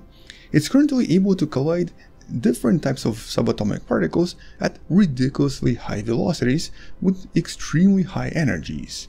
And in the last few years, as the scientists installed more and more upgrades on this particle accelerator, they were able to beat previous records, achieving higher and higher energies. Which in essence allows them to create a lot of other subatomic particles or exotic particles that could have been predicted by some studies or could have never been thought of before. And that's of course how the confirmation of the Higgs boson came to be as well. The existence of a subatomic particle that was very hypothetical until it was discovered approximately a decade ago. But every few years, the higher and higher energies are achieved and new records are established. Which at least in theory could allow the scientists doing all of this discover new unusual subatomic particles, new phenomena, or potentially even new physics, something we've discussed in one of the previous videos from a few months ago that should be in the description. But early on, specifically in the first few years, there was a bit of a concern in regards to what could be created by these collisions. Could the scientists accidentally create something we don't really want to create on planet Earth? For example, could you somehow merge particles in order to create something extremely dense, something resembling a black hole? A black hole that starts small but eventually absorbs the entire planet and everything around it as well. And that's why science communication as a field and as a profession is super important. Because very often people misunderstand certain concepts and very often associate certain words or certain principles with something that is not actually true. In this case, black holes. Many people today imagine a black hole as a kind of a vacuum cleaner with unlimited power something that is super super powerful and something that essentially sucks up all of the matter around it. And something that, even though it could start small, would eventually absorb everything around it and expand, creating something even larger than before. But that's not actually what we believe black holes to be. And we don't actually think they do that at all. For example, in theory, you could turn anything into a black hole. You could take an apple, or you can actually take yourself and condense yourself into a very, very dense mass that would then become a black hole. But in order for an apple, or in this case, you, to become a black hole, it would actually have to be ridiculously small, even smaller than any subatomic particle. For example, you can use this calculator that you can find in the description to try to calculate how big of a black hole you would become based on your mass. In this case, an average adult would actually be a black hole of 10 to the power of minus 17 nanometers.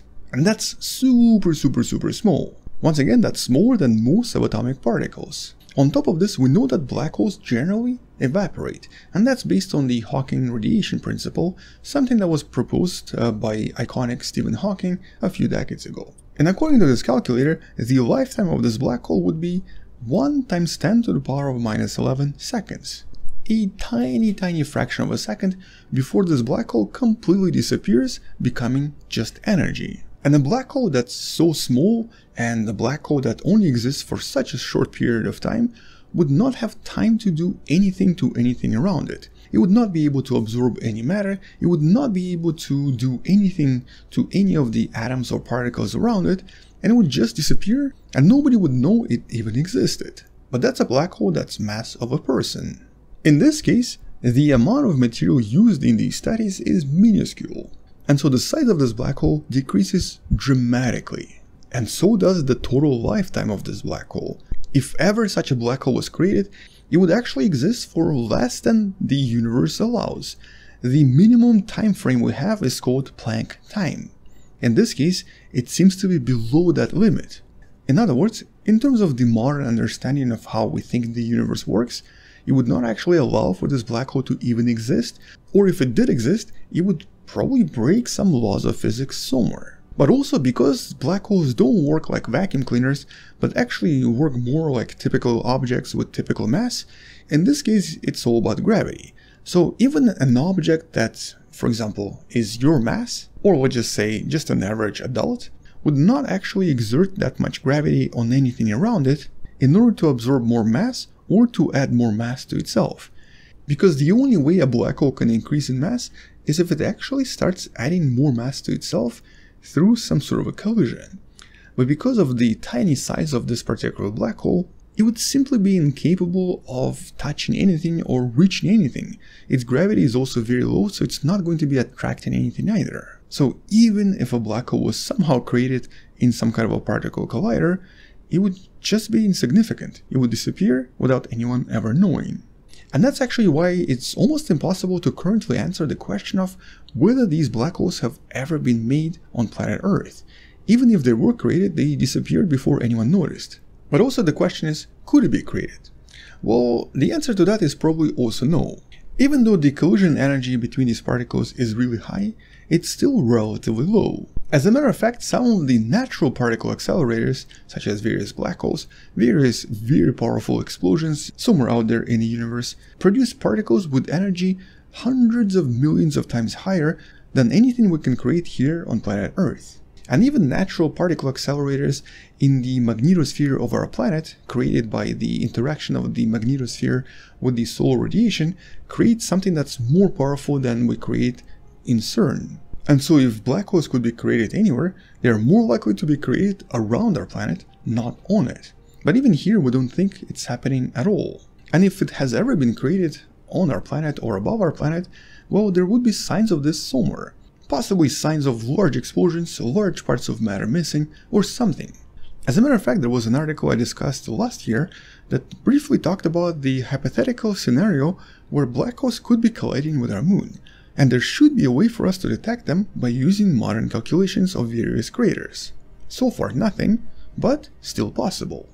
But if by some chance CERN does create a black hole, based on current calculations of the total mass used, it would only be approximately 5 times 10 to the power of minus 20 grams. Once again creating a black hole that's just impossible, both in terms of the time that it would exist and even in terms of the total size. It's actually below the allowed total length. It's lower than one Planck length, the smallest size that the universe currently allows. According to this calculator, here is the smallest amount of material needed for a black hole to actually exist in terms of the length. And in this case, it's going to exist for a tiny, tiny, tiny fraction of the time. It's equivalent to about 11 micrograms, or the amount of material you sometimes find written on, for example, a vitamin pill bottle.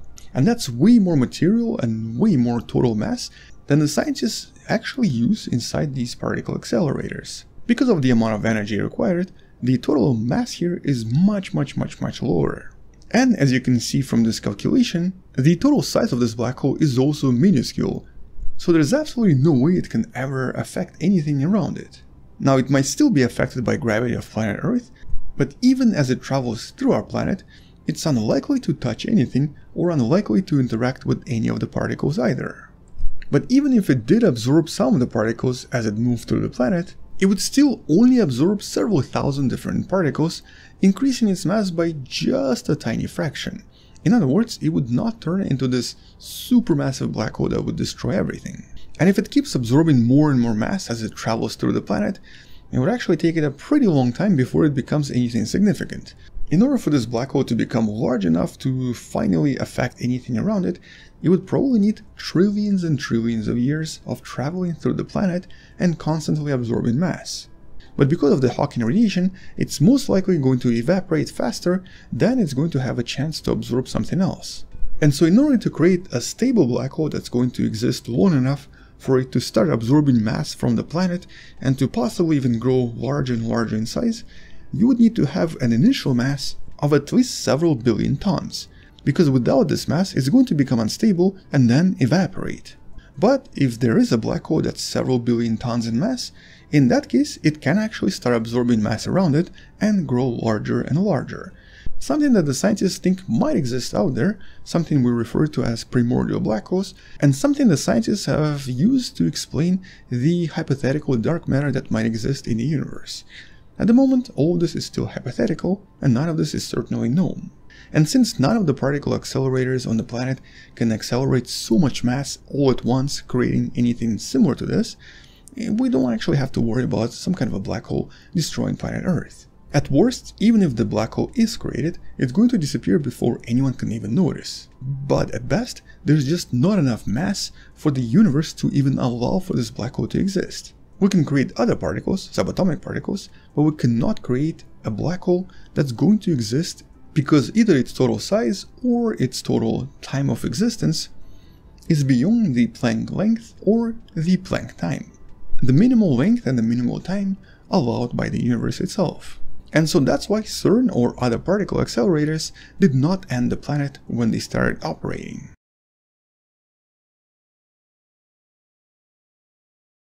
Hello wonderful person, this is Anton, and today we're going to be talking about some relatively incredible but somewhat unexplored discovery that came from the Jefferson Lab located in the US. The lab, whose main purpose is to investigate the nature of matter itself, with the scientists in this lab doing so by trying to learn as much as they can about various subatomic particles.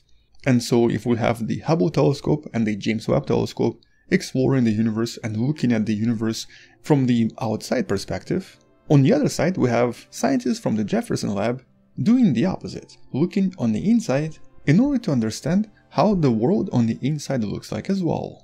And naturally there are quite a lot of these labs around the world, a lot of them usually deal with particle physics and use a lot of different particle accelerators to try to get the data, but in this particular case, the scientists in this lab have actually accidentally discovered something amazing about the mass in the universe. At least amazing for the particle physicists. But before I talk about this and what the scientists found here, I actually wanted to bring up several other articles that I did not cover on this channel for a very important reason. And the reason is really simple. There's unfortunately a bit of a divide nowadays between the actual discovery in various scientific papers and how the media portrays it, usually through very clickbaity titles. Now, my apologies for possibly doing this in the past as well, mostly because I didn't really realize how misleading this can actually be in the long term, but here's one good example from just a few months ago. An article from Boston College published this press release claiming to have discovered an elusive particle with the material containing something they refer to as the axial Higgs mode. And all this got picked up by the media pretty quickly, and this axial Higgs boson eventually even got its own Wikipedia page. Luckily for us, this page no longer exists because this axial Higgs boson is not really what the scientists found in that paper. And the paper itself doesn't even mention any specific particles. As a matter of fact, it mentions something completely unrelated to the iconic Higgs boson. But one thing led to another, and eventually this news spread, with quite a lot of different sources picking it up. And I actually wasn't sure how to cover this, but eventually realized that, well, this is not obviously the first time this happened. And by the way, nothing particularly exciting was discovered in this paper, nothing revolutionary or nothing related to the Higgs boson. So yeah, axial Higgs boson is not a thing.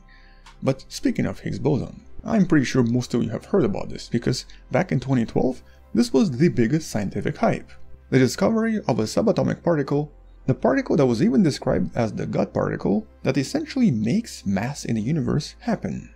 The particle named after Peter Higgs, who predicted its existence back in the days.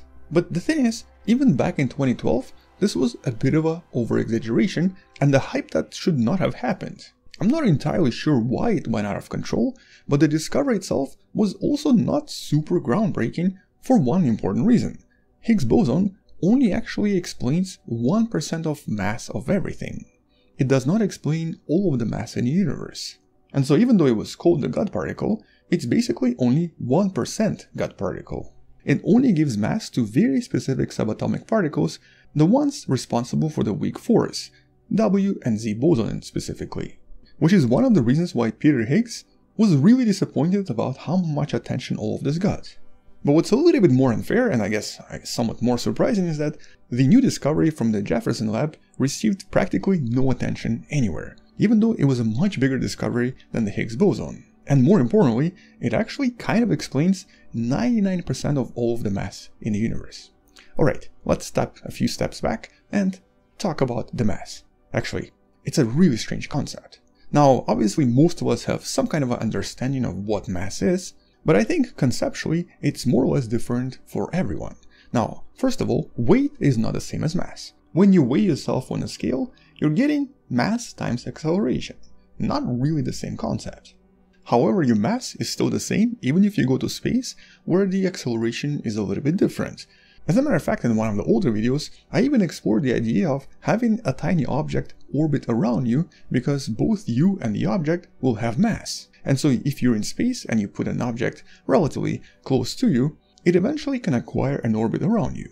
That older video should be somewhere in the description. And obviously, as the object becomes more massive, it sort of acquires more gravity and starts attracting objects even more. The most extreme example in this case is of course a black hole, an object whose mass is just way way too much, even the light cannot escape it.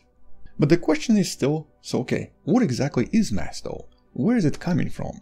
Well, I guess one way to answer this is to look inside the atoms and inside the particles that all these objects are made from. For example, here's a helium atom. We have the electron cloud around it, but a lot of its mass is concentrated in the middle where you see two red protons and two neutrons. The mass of the electron in this case can generally be ignored, it's relatively small. And so it looks like most of the mass in this atom comes from the protons and the neutrons. But then if you start zooming in even more, you'll discover that both the proton and the neutron are made out of their own subatomic particles. We refer to them as quarks. For the protons and the neutrons, the quarks are up quarks and down quarks. This here is a proton, this here is a neutron. A very very small difference, with this being a result of the weak force, but we've discussed this in one of the previous videos that should be in the description. Okay, so where's the mass though? Well, here's the thing. When the scientists a few decades ago started to measure the mass of these quarks, specifically the up quarks and down quarks separately, and they did so by conducting a lot of particle accelerator experiments where they collide a lot of different particles, creating subatomic particles and observing the effects, they quite shockingly discovered that the up quarks and down quarks only represent a tiny fraction of the total mass. Yet the proton itself and the neutron itself were much much much more massive than they should have been if it was just the up quarks and the down quarks. So where is the mass from? And well, in the last few decades, the scientists were finally able to kind of answer this. With the work from the Jefferson lab right here, more or less answering this once and for all. And more importantly, even creating a beautiful simulation to kind of help us visualize all of this and to help us understand where most of the mass, or 99% of all of the mass in the universe, and we're talking about mass inside various stars, inside various gas clouds, and in pretty much most of the objects out there, comes from. And the actual answer and the result are kind of counterintuitive and somewhat difficult to understand. It comes from the gluons connecting everything together. It comes from these squiggly lines. And this particular image doesn't really do it justice because most of the mass of the entire proton and the neutron is in these squiggly lines. This mass comes from the energy connecting and holding the quarks together. Or at least that's one way of thinking about it. The much better way of visualizing this is through this new simulation. So here's how we previously imagined the proton. We have three quarks interacting with one another with essentially a force holding them together. But in reality, the proton and the neutron would probably look something like this, with all of these white patches you see, essentially creating these large clouds of gluons that then carry the strong force, which essentially creates the mass. And this by itself is, to me at least, kind of mind-blowing. And since individual quarks in this case are only responsible for less than 1% of the total mass, it's really these gluons that create pretty much all of the mass around us. Not Higgs boson, not the tiny quarks inside of our bodies, but the strong force holding them together. But wait, it gets even more counterintuitive and weird. It's not the gluons themselves, it's the energy of binding. And I guess more specifically, the motion of the gluons and their speed. By themselves, each individual gluon doesn't actually have much mass at all.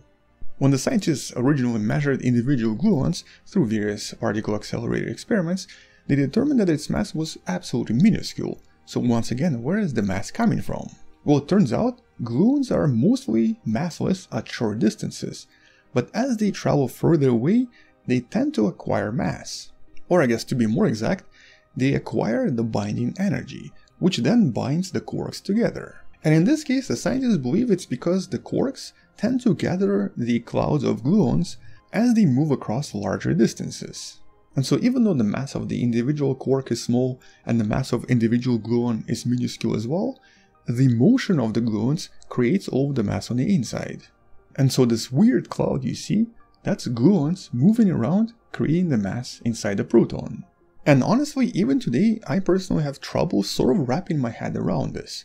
How exactly can mass be formed by the unusual interaction of these gluons and essentially by them just moving around and then somehow binding quarks together and thus generating the mass in the entire universe, 99% of all of the mass. Which then obviously generates things like gravity, which generates a lot of other effects we observe around the universe.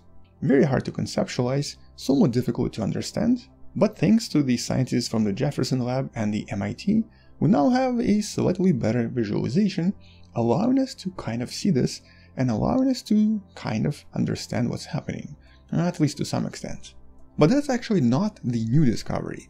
The most recent discovery, from I guess just a few weeks ago, is more or less accidental. And it's from this study right here you can find in the description below. And all this comes from a completely different experiment that was actually shooting various electrons at various protons and neutrons, designed to study proton and neutron spin. In other words, the scientists were actually studying something entirely different, but they were doing so for nearly a decade. And so over this period of time, they've collected a huge amount of data about protons, electrons, and neutrons. And recently they realized that they could actually combine all of this information to extract the overall strong force coupling and how it affects protons and neutrons on the inside. In simpler terms, by combining all of this data from these experiments, they were actually able to see what's happening to these squiggly lines. And specifically, they were able to calculate how the strong force changes as the distance between quarks grows as well. Mostly because it's still not entirely clear if the force grows exponentially, if it stays the same, or if it maybe decreases because of the distances. And in this case, the scientists were able to calculate the strong force at the largest distances yet, determining that at larger distances, the strong force seems to actually stay the same whereas at shorter distances, it's relatively weak. Which also proves that gluons in this case also get their mass from the force of coupling, or basically that 99% of all of the mass in the universe is formed by the force that's holding things together. And in case of these squiggly lines, once they get far enough away from each other, the force between them will stay relatively same. But even though this is a pretty major breakthrough, it still is far from actually explaining everything about mass to us and there are still so many unanswered questions. As a matter of fact, not so long ago, we've even discussed some of these potential problems discovered in the particle physics that could maybe rewrite some of these ideas.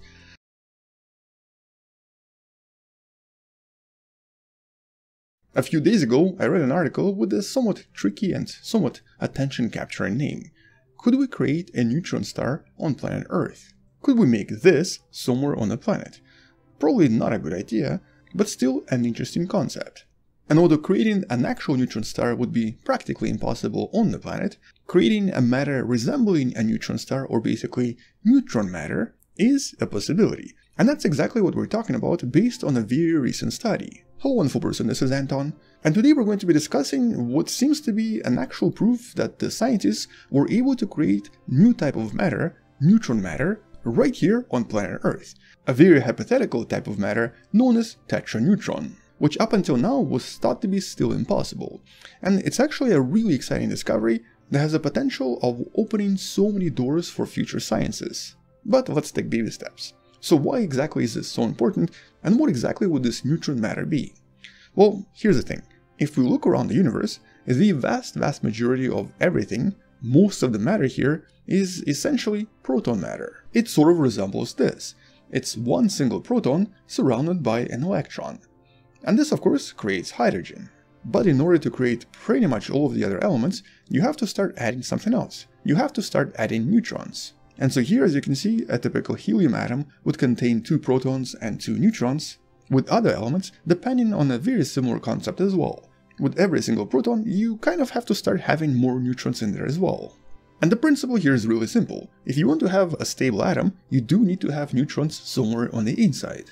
With the only exception being the hydrogen atom that only contains a single proton. And when you start breaking atoms apart, so for example during the nuclear fission, that's when the reaction ends up producing more neutrons, and it also becomes the primary contributor to what's known as the nucleosynthesis. In other words, during any kind of a nuclear reaction, these free neutrons can now actually move around and possibly join some other atoms in order to create something a little bit more complex, producing heavier and more complex elements in the process, making the neutron capture an essential process in the production of, well, pretty much all of the matter in the universe that's not hydrogen, while also making neutrons absolutely essential for the production of nuclear power. The idea we refer to as the nuclear chain reaction is essentially a bunch of neutrons colliding with other atoms and causing complex atoms such as uranium to fall apart, releasing even more neutrons in the process. And when the scientists discovered this in the early 30s, it actually led to the production of the first ever self-sustaining nuclear reactor known as the Chicago Pile 1. And so neutrons are super super important, but the thing is they don't seem to exist outside of the atom for longer than 15 minutes. Or to rephrase this, a single neutron outside of an atom is really going to only exist for roughly around 15 minutes before changing into a proton and an electron. Any kind of a neutron matter existing somewhere out there would most likely instantly convert into hydrogen. Basically because neutrons would create protons and electrons, which would then very likely combine, creating hydrogen. But that's of course unless you apply extreme conditions, such as for example so much pressure created by so much gravity that the protons and electrons start to recombine back into neutrons, forming these extremely dense objects that we today refer to as the neutron stars unusual objects that seem to be responsible for so many different mysteries around the universe. For example, fast radio bursts are now believed to be produced by neutron stars. I guess magnetars to be more specific. And magnetars by themselves already have so many mysteries about them. But this seems to be the only stable way for neutrons to exist. Outside of the atom, that is. It's always been believed that outside of a neutron star, it would be practically impossible to create any kind of neutron matter matter that would maybe even combine to create something more complex and create various objects that would not just be neutron stars, objects that could even exist in your typical room conditions. But there's always been this one theory that suggested that because of various quantum effects, in theory, you could maybe have a neutron matter as well. In other words, there was a suggestion that, well, you could maybe have neutron gas, or you might have neutron objects out there, possibly even neutron planets. I mean, that's a very, very sort of hypothetical idea, but it was always there. And one of the initial proponents of this idea is Dr. James Vary, currently in the Iowa State University, that started doing experiments on this back in 2002, so 20 years ago. And it was initially theorized that any kind of a reaction involving beryllium could maybe produce what's known as a tetraneutron, essentially a collection of four neutrons that kind of sort of hold each other through various quantum effects without causing the entire system to fall apart and without causing the formation of protons and electrons. However, in this case, this would maybe only last for a fraction of a second. At least that was the initial idea behind this. But because these neutrons would use what's known as the resonance to try to hold themselves together, if we were to add more tetraneutrons in there, chances are they might actually stabilize the system with more tetraneutrons, creating much more stable environment and thus potentially creating stable objects on a larger scale. Now, at least one experiment in 2016 in Japan suggested that there were possibly signs of tetraneutrons found in their experiment using different types of helium. But it was very difficult to confirm this, and not a lot of scientists were sort of behind this idea. Nevertheless, this was an exciting prospect because, well, it was basically creating exotic matter right here on planet Earth. It would be subatomic particles that have no charge and might contain properties that would be very useful in existing or emerging technologies. But the scientists obviously kept trying. And because the original calculations using various supercomputers were able to determine the exact parameters for these tetraneutrons, including their energy, their physical parameters, and what sort of emissions they're going to be producing, all the scientists had to do now is use various particle colliders to try to see if anything like that appears in any of the data. And looks like this new experiment, once again from Japan, might have discovered it and confirmed it after all. Identifying some kind of a particle that was produced in the process with the energy signature extremely similar to the one predicted by the original supercomputer calculations. And although it is possible that this is maybe something entirely different, because of the similarity with the original predictions, the best current explanation is that this was the neutron matter after all. And to be more specific, those four neutrons connected to one another through the process of quantum resonance, with no protons and no electrons needed. With the new question being, can you combine these into more particles, creating something more stable that can actually sustain itself for much longer periods of time, or possibly even creating a larger structure? In other words, can we actually have neutron objects? Objects made entirely out of neutrons and nothing else. And obviously, unlike a typical neutron star, not being super dense and not possessing huge amounts of gravity objects with similar properties to what we are used to around us.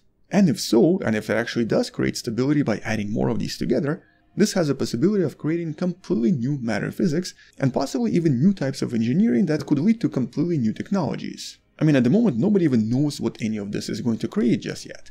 But that's of course assuming that by adding more of these particles, we can create something more stable. At the moment, all of this is still uncertain because this is a brand new discovery. But I guess to answer the question of whether you can create a neutron star here on planet Earth, the answer, for now at least, seems to be yes, as long as it's relatively low in density and uses a very specific type of a quantum resonance in order to keep these neutrons from falling apart and from essentially turning into protons and electrons.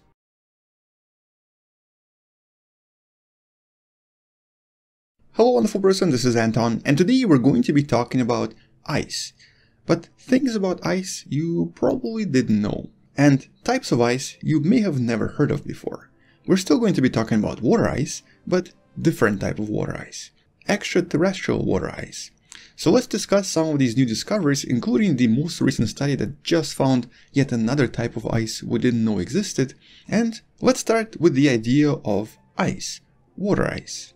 So here on planet Earth, when liquid water reaches a certain temperature, it starts to freeze into a solid, becoming what we call ice. And as you probably know by now, we've been finding water and specifically water ice in a lot of different places around the galaxy and even around the universe. Here in our home in the solar system, ice seems to be abundant and it seems to be pretty much everywhere. For example, water ice has been discovered in the darkest places on Mercury, which is very close to the Sun and nobody really expected to find any water ice here.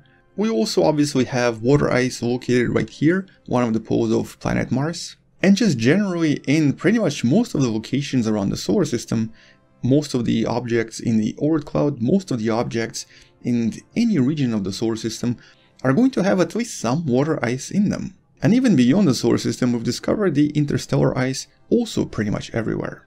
But is it the same type of ice that we are used to? Is it the same type of ice that we have here on Earth? And the answer to that is not really. As a matter of fact, it's very different. It's still water and it's still ice, but just very different in structure and in properties. And all of this usually depends on what conditions this water ice is made in. For example, is it produced under a lot of pressure, no pressure, or same pressure as on Earth? Is it produced really quickly or really slowly? Are there any other types of radiation involved here? And essentially all of this depends on how the atoms and how the molecules themselves start to arrange and what sort of shapes they start to create.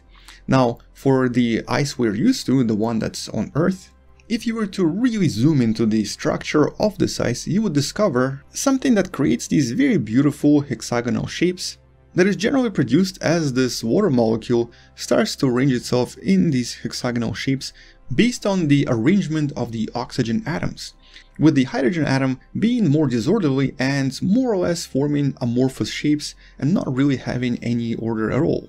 And so these hexagonal shapes are generally formed because of the oxygen arrangement with molecules connecting to one another using electrostatic forces, but with hydrogen atoms not really having as much of a structure or as much of a dependence on one another. And because of this, scientists sometimes refer to ice on Earth as hydrogen disordered ice, so the only order present in those crystals is based on the oxygen molecules, nothing else which surprisingly allows this type of ice to have very unique properties, properties that scientists believe were absolutely crucial for the development of life on the planet. But first of all, because of this hexagonal formation, that's why a lot of ice crystals, and specifically things like snowflakes, start to produce various beautiful six-sided patterns. And so all of this is based on the idea of a six-sided structure that's formed by the oxygen atoms. And because inside this type of ice only oxygen and not hydrogen have any order, one of the major properties of ice on Earth is that it can actually kind of flow. That's for example why a glacier is able to slowly flow down the mountain instead of just crumbling and falling apart like a typical crystal would.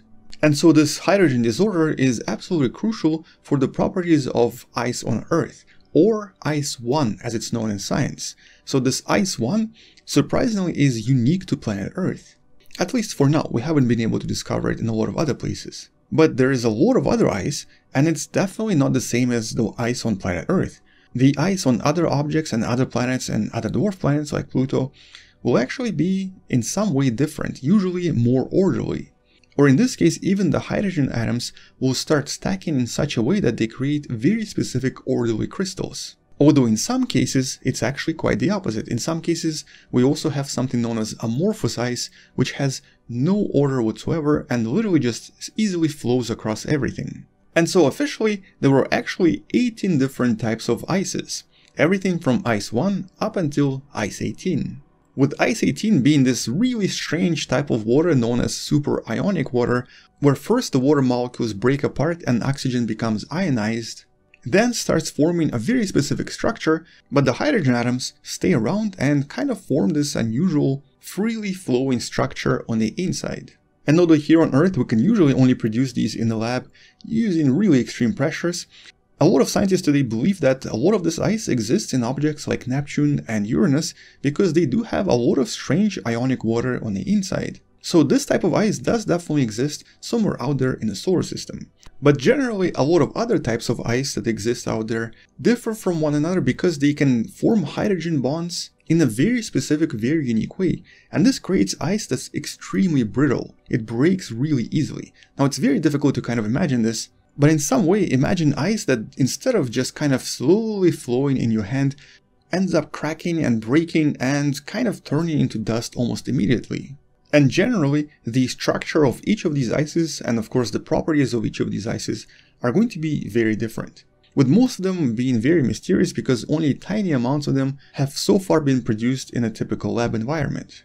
But now, only a few weeks ago from when I'm making this video, a team of scientists was able to create another type of ice, the ice we refer to as Ice 19, with a general structure that kind of looks like this, where hydrogen is also just as ordered as oxygen.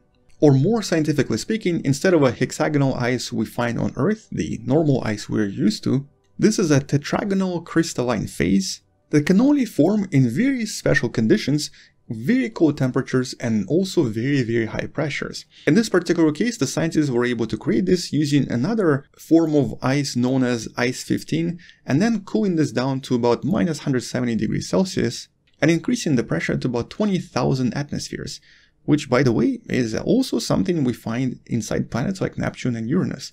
These conditions, especially inside Uranus which is slightly cooler, are pretty common all over the planet. But what's interesting in this particular discovery is that the scientists were also able to connect, and in some cases relate, several different types of ice, realizing that they only differ in terms of the location of hydrogen atoms, not the oxygen atoms. And specifically, I6, 15, and 19 are very very similar to each other, but the hydrogen atoms are arranged a little bit differently. Although the natural assumption here is that they will also probably have different properties. They have a relatively similar density, not exactly the same though, but the properties, or basically how the ice reacts to the environment around itself, are going to be very different. Obviously we don't really know what they are yet, but they're different. Also, original ice that all of this is made from, which is ice 6, can actually be formed in uh, normal temperature, but it still has to be at very high pressures. Or in this particular case, it has to be about minus 3 degrees Celsius with about 1.1 gigapascal of pressure, or about 11,000 times more pressure than on the surface of planet Earth. Pressures which usually exist inside various gas giants, but are very unlikely to exist on the surface of a terrestrial planet or a dwarf planet. And one of the more interesting implications from the study is that it seems that this polymorphous ice can transition from one phase to another naturally depending on the pressure.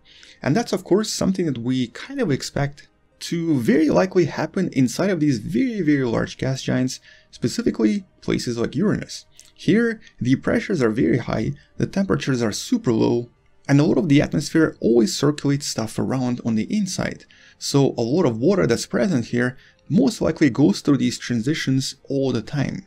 But how it affects the actual planet and what happens on the inside, that's a mystery we have no answer to. With I guess the biggest mystery here being, can you actually form some sort of a maybe Earth-like life based on the ice and water present in these conditions? Because right now, what all of this implies is that the ice and the water on Earth are very unique, and that's maybe why life exists here, but does it exist on other places like Enceladus, Titan, and so on? And so all of this water that forms the surface of Enceladus, for example, all of this ice you see here, that's very different from the ice on Earth. It's not entirely clear what type of ice this is, but it definitely has different properties, different action, and of course different interaction with everything around it compared to what we have on Earth. And so various types of water we discover around the universe, all of this really depends on the structure itself, the structure of the molecules as they crystallize. But more specifically, all of this really depends on the structure of hydrogen atoms. How the hydrogen atoms align seems to determine what sort of ice we get at the end. And when they align randomly, we get the ice we get on planet Earth. And all this is of course really important in order for us to understand what happens on these various objects in the solar system and beyond. The majority of these objects, including the one you see right here, the moon Europa, are not made of the water ice from planet Earth. This is also this polymorphous ice we are able to create in the lab, but that doesn't exist on Earth. Although, okay, not entirely true. There's one type of ice that exists on Earth that possibly also exists in space, and that's the type 7 ice. The type of water ice that occasionally finds itself inside different diamonds produced in extreme pressures inside planet Earth.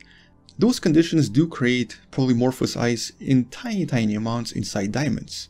But in outer space, the so-called hexagonal ice, the ice we're used to, is almost non-existent. Most of the ice that we'll usually find around various objects is either going to be amorphous, having no structure whatsoever, or is going to be tetragonal, containing extreme structures. And so that's why learning more about different types of water ice outside of planet Earth is actually important because it does seem like a lot of this ice on Earth is extremely unique. It's not amorphous, it's not tetragonal, and it has very unique properties that are absent in some of the other ices we've discovered. Properties that are absolutely crucial for life on Earth to survive and to thrive. And so the creation of Ice-19 and this discovery in general is actually really important scientifically speaking. But now, as the scientists mentioned in the paper, there's a quest for Ice-20. What's going to be the next ice they discover? And the other curious question I guess we all have is, how many ices are possible after all? Is it going to be a really, really huge number, or will hydrogen have a very specific number of patterns available to it depending on the structure of oxygen? And that's something scientists might be able to answer in the next few decades, but right now it's a big mystery and nobody really knows.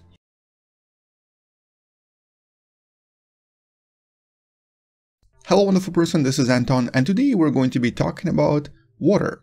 Because something unusual, something extremely extraordinary has been recently discovered about water itself. And we're not talking about ice water or water in some strange states, we're talking about liquid water, the water that's present on the planet. And what recently has been discovered suggests that water itself seems to possess two different states depending on the temperature. And that is something that nobody really expected to find. So let's talk a little bit more about this because as you can probably imagine, water is probably one of the most important substances, for life at least, on planet Earth. And this is something that we actually need to understand really well if we do one day want to discover some kind of other life somewhere out there, in order to understand the origins of life and of course how life evolved on planet Earth. So first of all, we know that water is already kind of strange. And by the way, when I say water, I don't mean just liquid water. I mean water itself as a molecule and as an element on the periodic table of elements. For example, this is the only known substance to us where the solid state, the ice as it's known, actually floats on the liquid state. In pretty much every other known case, the liquid state normally floats on top of the solid state. So this is, for example, the case with things like methane, ethane, and so on. But for some unknown to us reasons, in case of water, the ice is, well, it's less dense. It seems to be able to float on the surface of the liquid state of water. Now obviously this is something we've all learned in school and something we kind of all take for granted, but with other liquids this is not the case at all. For some reason, liquid water, when it freezes, when it becomes solid, starts to expand, and this is not really easy to explain. Also, when it comes to things like boiling or essentially becoming gas, normally the more molecular weight the molecule has, the higher its boiling point. So for water in this case, we would expect it to have much much lower boiling point, but its boiling point is extremely high, suggesting that it has much stronger bonds than some of the other molecules. But that's of course some of the things that you might have already learned in school and some of the things that you might already understand, because we know that overall water does seem to be a very strange substance. But these strange facts about water is not really something we can answer right now. There's still a lot of things we don't understand about the substance. There are however things that we've all learned in school, which is of course the states of matter, the states of water. We probably all still remember that we are taught that water has three states, ice, liquid water and gas. And in this case, you can actually see two of them. You see the clouds above and you see the liquid water, which is the ocean here. But what they didn't teach us in school is that water actually has a lot more states, way way more than we can actually list in this video. For example, we already discovered close to 20 different states of ice, basically the solid form, and they all seem to be different depending on the structure of the molecules inside the ice itself. For example, this form right here, known as ice 10, forms at really really high pressures and creates a somewhat interesting, very symmetric ice compared to normal ice we see on Earth. And most of these ice forms are normally formed in usually somewhat extreme conditions or in many cases in outer space. So for example, ice we find on comets or on other planetary objects structurally and possibly even functionally is not really the same ice as we have here on Earth the ice on Earth is very unique and very different from the things we find in outer space. And these different forms of ice have been discovered for many many years now, and we're probably going to be discovering a lot more of them in the future. But in this case, this is not particularly difficult to explain. As the water solidifies, as it becomes solid, water molecules can actually assume different types of shapes. Like not so long ago, only a couple of years ago, the Japanese scientists discovered that water can actually create this extremely light type of ice the so-called ultra-density ice that the scientists also refer to as aero ice, mostly because it's very very light compared to the typical ice we find on planet Earth. But that's for ices. On the opposite side of the spectrum, if we start warming up the water and if we make it extremely hot and extremely energized, we can also create what's known as plasma water, and we've discovered at least one potential planet where the atmosphere might be filled with this plasma water. And this is water that's essentially more closer to fire than it is to actual substance, to actual water. And so there are a lot of these extreme examples to show you that water has a lot of different states, many of which are obviously not taught in schools. But here's the thing though, what about the liquid water?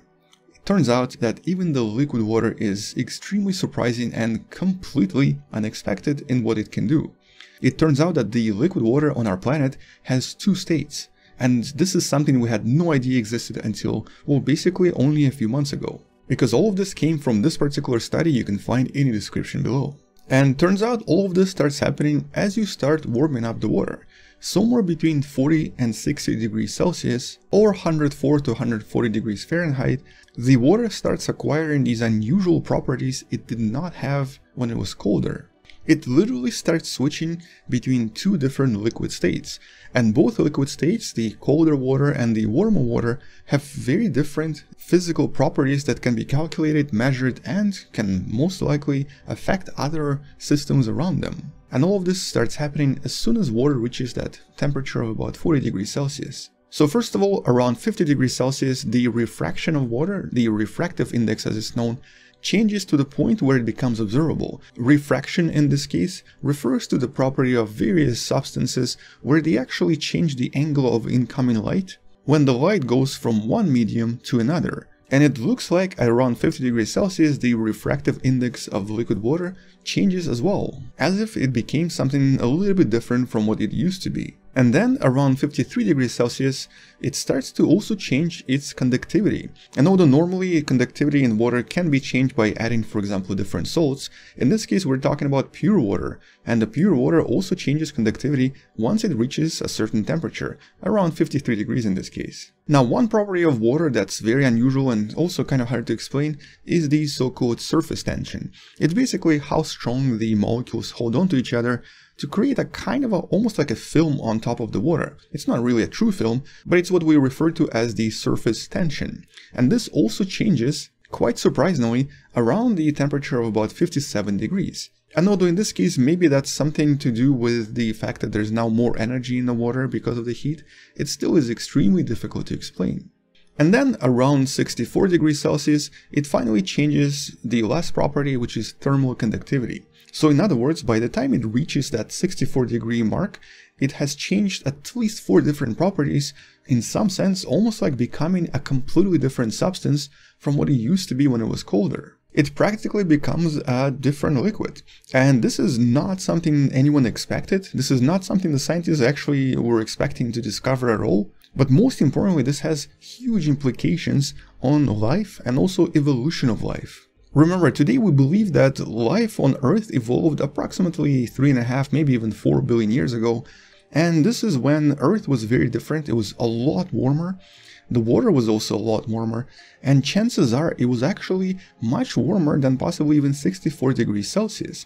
In other words, the liquid water that was present on early Earth was very very likely in that other state we just kind of discovered. The thermal conductivity, the electrical conductivity, refractive index, and surface tension were most likely a lot different from what they are today. And in some sense, maybe this is actually what helped life to evolve. We obviously can't really explain what exactly it was that helped life to evolve, but it does seem like maybe this actually has some sort of a correlation. The different state of liquid water present on early Earth may have assisted early life on Earth to create all of the necessary components for later life to evolve. Now this is not something we can easily prove just yet, but there is definitely a lot of implications in this discovery. And although we don't really have any good explanations yet, the potential explanation here is really all to do with the unusual bond that water uses to essentially maintain its shape. The bond we refer to as the hydrogen bond. And because this bond is used by so many other organic molecules, including things like proteins, and because it's so extremely important in regulation and maintenance of activity inside the living cells, for example, this of course also suggests that whatever was happening on early Earth when water was warmer was probably extremely different from what's happening on Earth today. And so now it's actually super important to take into consideration the temperature of liquid water on potential other objects we discover somewhere out there. Because water seems to have very different effects in very different temperatures, all of this officially has now become even more complicated than before. But what's really interesting here is that we keep discovering all of these incredible things about water and we keep realizing how absolutely incredible this substance is. It seems to be absolutely unique in the universe in all of its properties, in all of its abilities, but most importantly, of course, in its ability to create organic life and to sustain it for many, many billions of years. And this is of course one of the main reasons we're studying all of this, because we want to understand how life was created, how life evolved, and what exactly was the role of water in all of this. But anyway, it's a really really exciting discovery, probably one of the bigger discoveries of the last few years, but the implications of this discovery are not really going to be instantly apparent to us. It's probably going to take a lot of studies and a lot of new discoveries to try to figure out what all of this means.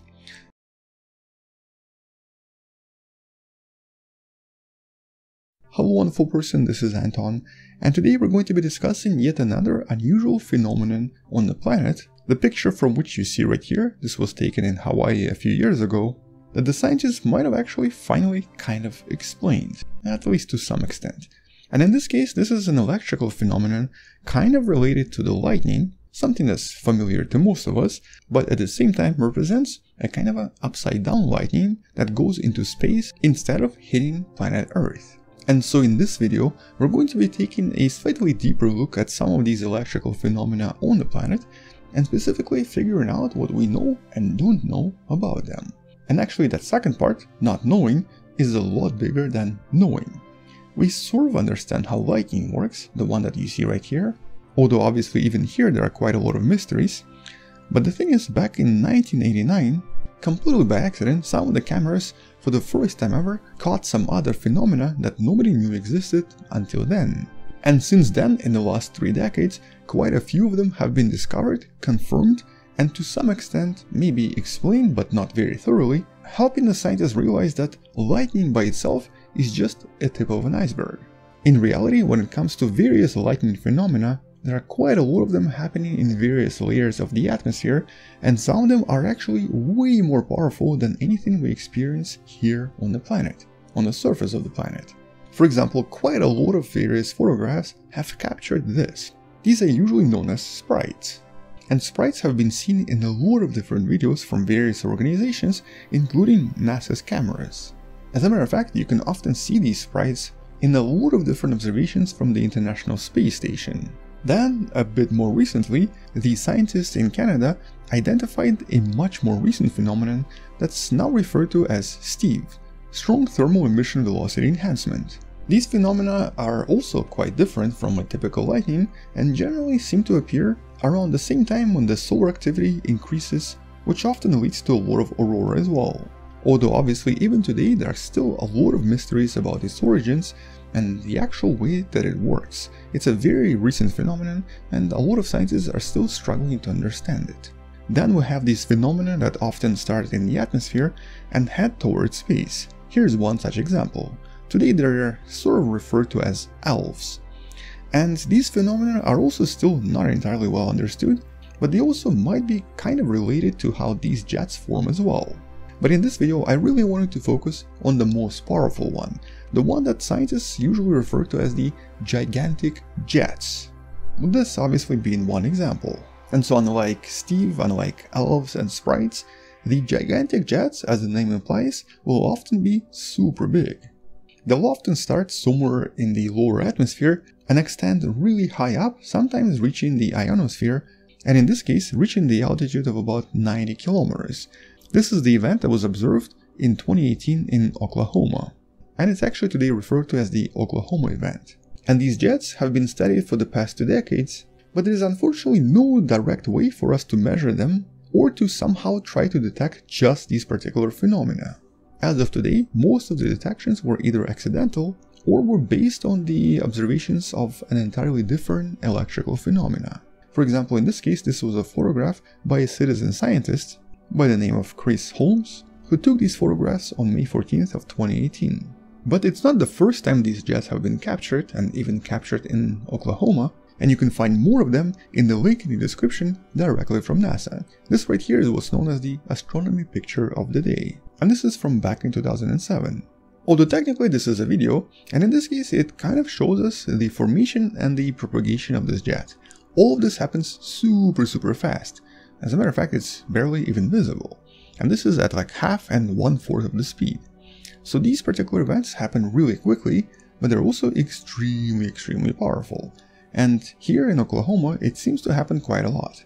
Even during this night, it happened twice. But I guess what's unique about these phenomena compared to some of the other electrical phenomena is that they generally do not really depend on the lightning that you see right here. So even though some of the phenomena such as elves might form during a typical thunderstorm, these gigantic jets do not.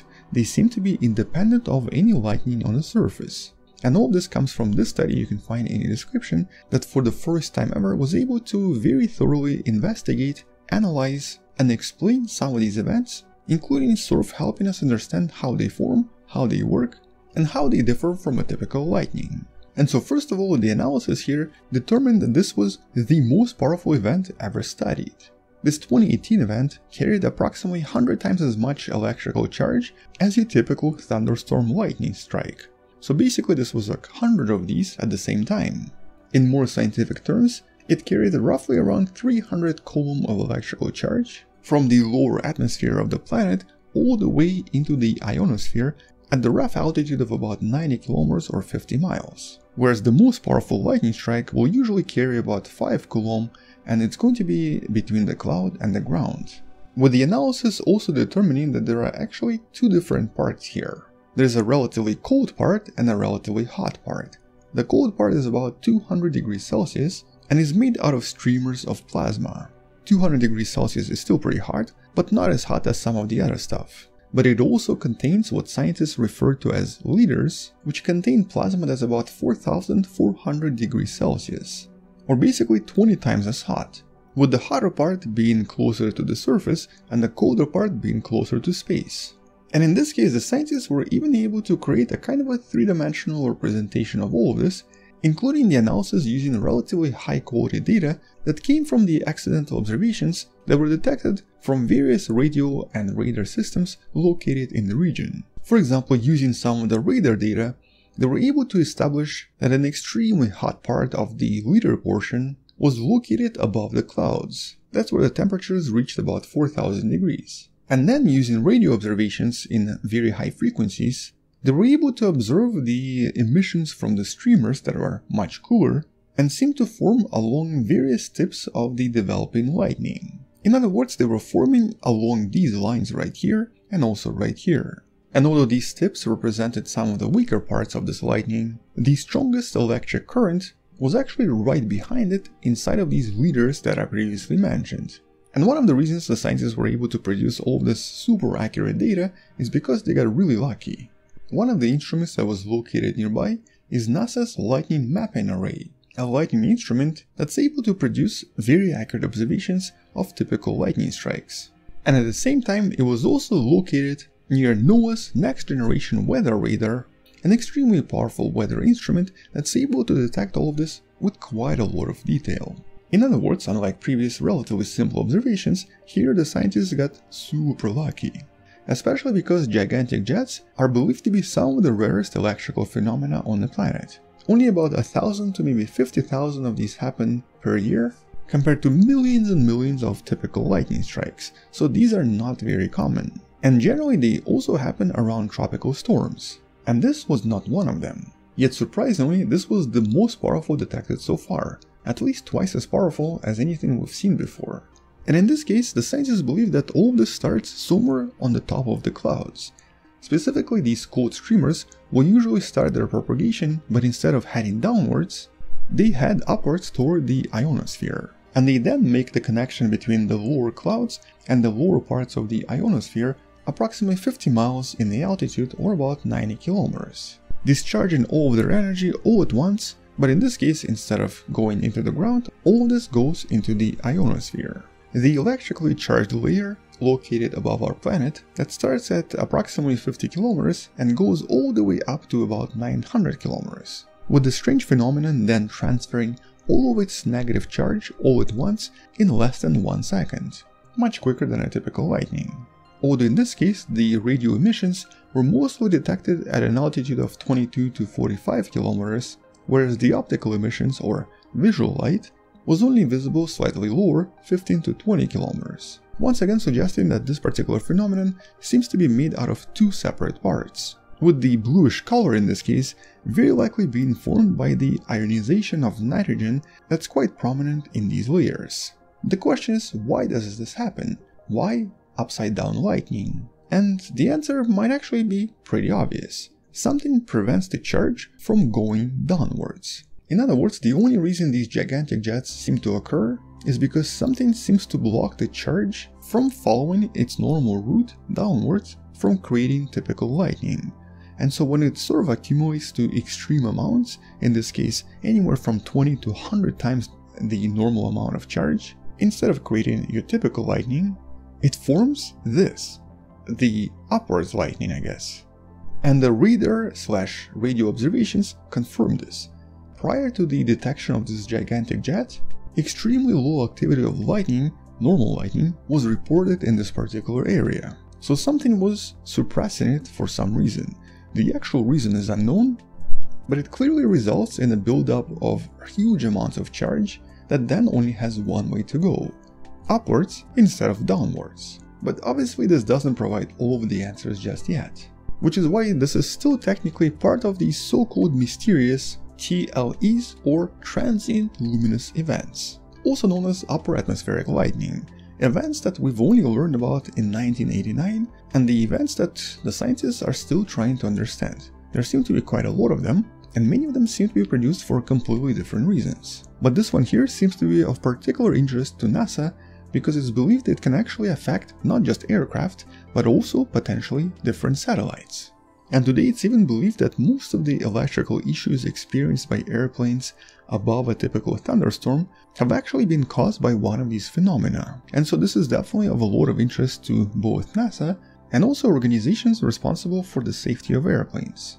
Although as some of the NASA's recent images from Jupiter showed us, this phenomenon definitely exists outside of planet Earth as well. It seems to be very common on Jupiter and seems to produce even more powerful jets electric jets that are hundreds and even thousands of times more powerful than the ones on planet Earth.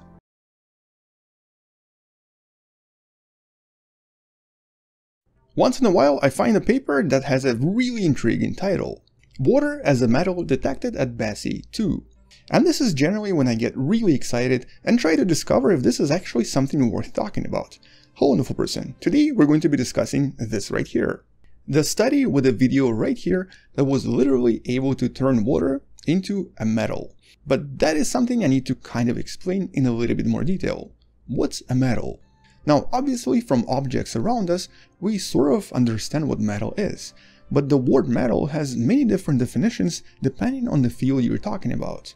And so, for example, in regular life, a metal usually represents some sort of a substance that, when prepared, polished, or in some way fractured, will usually have lustrous appearance and will usually conduct electricity and heat really well, while also generally being very malleable, meaning that if you were to hammer it, you can actually turn it into any shape, with gold in this case being the most malleable metal of all.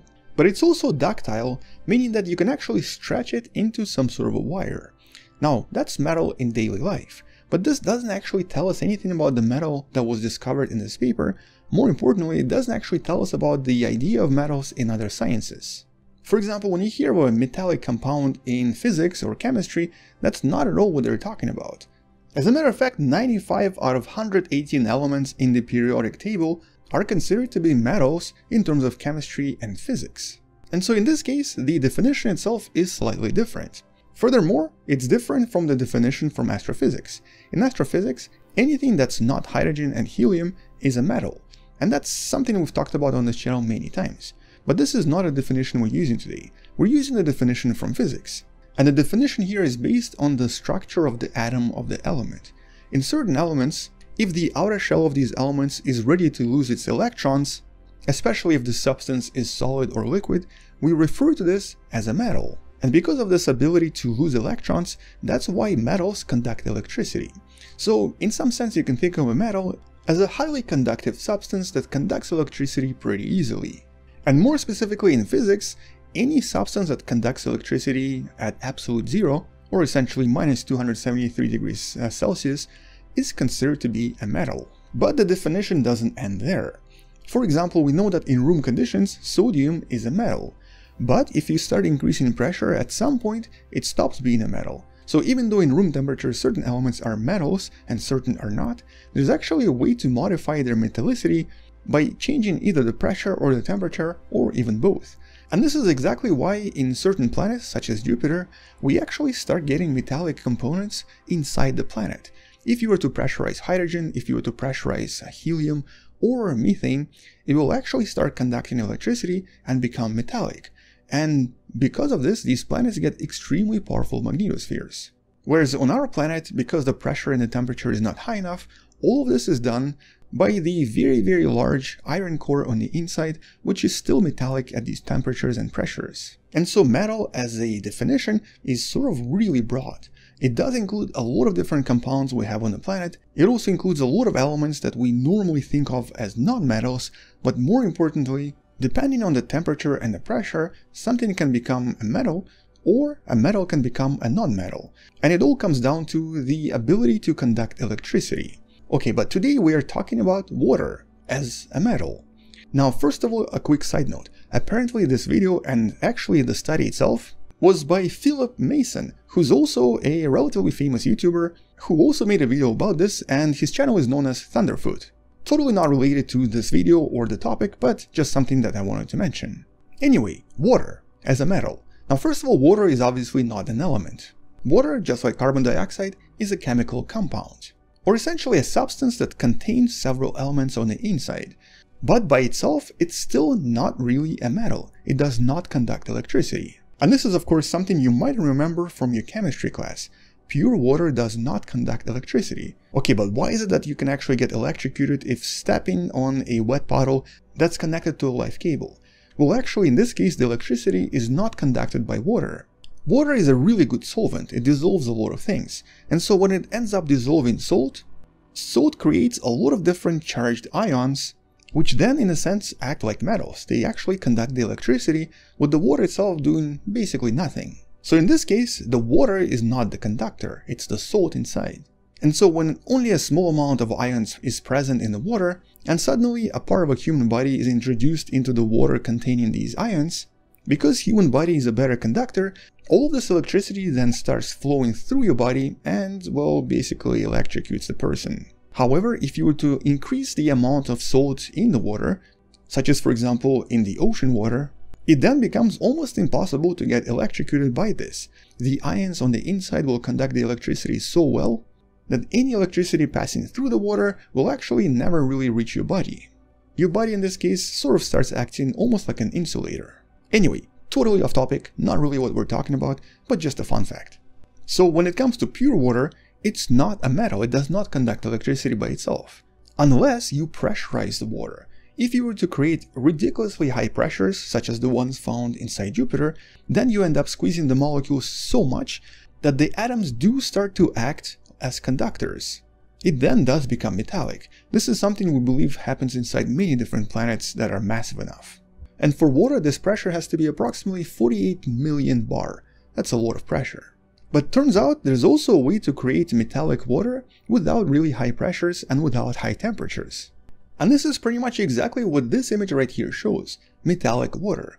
Water that became conductive after something was done to it. Something that was recently achieved at BESSY 2 a chemistry research facility located in Germany. And in this case, it was an experiment involving an alkali metal. Here they used an alloy of sodium and potassium, but you might have seen experiments with sodium and potassium before. You might already know what happens to these metals when you place them in water. They tend to have a really dramatic reaction, including actual fire and usually some sort of an explosion. And because of this, any experiment involving sodium, potassium or other alkali metals has always been somewhat on the dangerous side, which is also one of the main reasons why nobody has ever discovered what exactly happens to water when you actually add alkali metals to them at that specific moment. But in this case, as you see in this video, the experimenter is going to be adding potassium to the water, making it explode as a result. But the scientists in Germany decided to do it differently. They took the potassium-sodium uh, alloy and added a lot of water vapor that started to form really really thin film around the surface of the droplet. And as you can see in this beautiful video, the droplet starts to change colors and actually becomes golden. This unusual golden film on the droplet, that's metallic water. Which is really amazing, because it looks like when you turn water into a metal, it becomes golden in color. And that's something nobody expected. But what exactly happens here to make water metallic? Well, right now the scientists think that it's because of the electrons escaping from the sodium-potassium alloy, which end up dissolving in the water and thus turning the water metallic, forcing the electrons in water molecules to start conducting electricity. And this phase transition from insulating water to metallic water for some reason also turns water golden in color. Now that's something that we can't really explain right now, but it's something that I'm sure someone will try to explain in some of the future studies and it stays this way for at least a few seconds. Now, obviously we don't really know what happens after, but I'm sure once again it will be investigated in future studies. With the other discovery of course being the fact that we can actually avoid the explosions between alkali metals and water, and we can avoid this by doing what they did. By adding the water vapor instead of the actual water to the alkali metals, thus producing the chemical reaction. And so overall, definitely a really cool experiment, definitely a really cool discovery, but is it going to have any practical use? Well, that's not a question I can answer right now. This is a completely brand new discovery.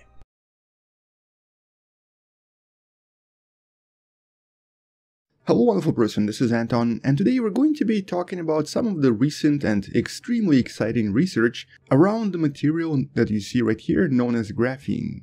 The material that in a sense could completely redefine our society and our civilization and also something that many different scientists around the world studied for the past 16 years trying to discover a lot of really interesting properties of this strange material. But now we've discovered something else absolutely mind-blowing. So let's talk a little bit more about this and also some of the other major discoveries around graphene. Although there's no way I'm going to be able to cover everything because there's just way too much to talk about and way too many different things that this material is able to do. I would even go so far as to say that back in the days when the ancient alchemists were looking for this magical material that's able to do a lot of things, and the material that is able to essentially dissolve everything, or even provide things like immortality, well, in some sense, graphene actually is that one material that provides a lot of different solutions to various problems we have today. But let's actually talk about some of the major discoveries first. But also, what exactly is graphene? Well, it's basically something made out of graphite, you know that stuff that you find inside the lead of your pencil. Normally, inside graphite, you'll find layers of carbon structured three-dimensionally, but if you were to somehow remove one of these layers, it will turn into something known as graphene, which also surprisingly starts to possess a lot of different functions that graphite did not have. One of these major functions is electroconductivity. Unlike graphite, graphene becomes electroconductive. So for the past 15 years, the scientists were trying to figure out if we can actually use this as a somewhat effective semiconductor for future electronics. Here's what the structure of this material looks like if you were to look at it in the electron microscope, and you can sort of see this unusual honeycomb formation that it creates, something that graphite itself does not possess unless you remove one of the layers. Now we've actually known about graphite theoretically for many many years, but it was originally rediscovered and in some sense isolated by these two wonderful researchers you see right here, who back then were working in the University of Manchester. And they won the Nobel Prize for their discovery, but it was actually made using these tools right here. They used a piece of graphite and then they used a typical scotch tape to try to extract thin layers of graphite, turning them into graphene discovering in the process that this was also apparently one of the strongest if not the strongest materials on the planet.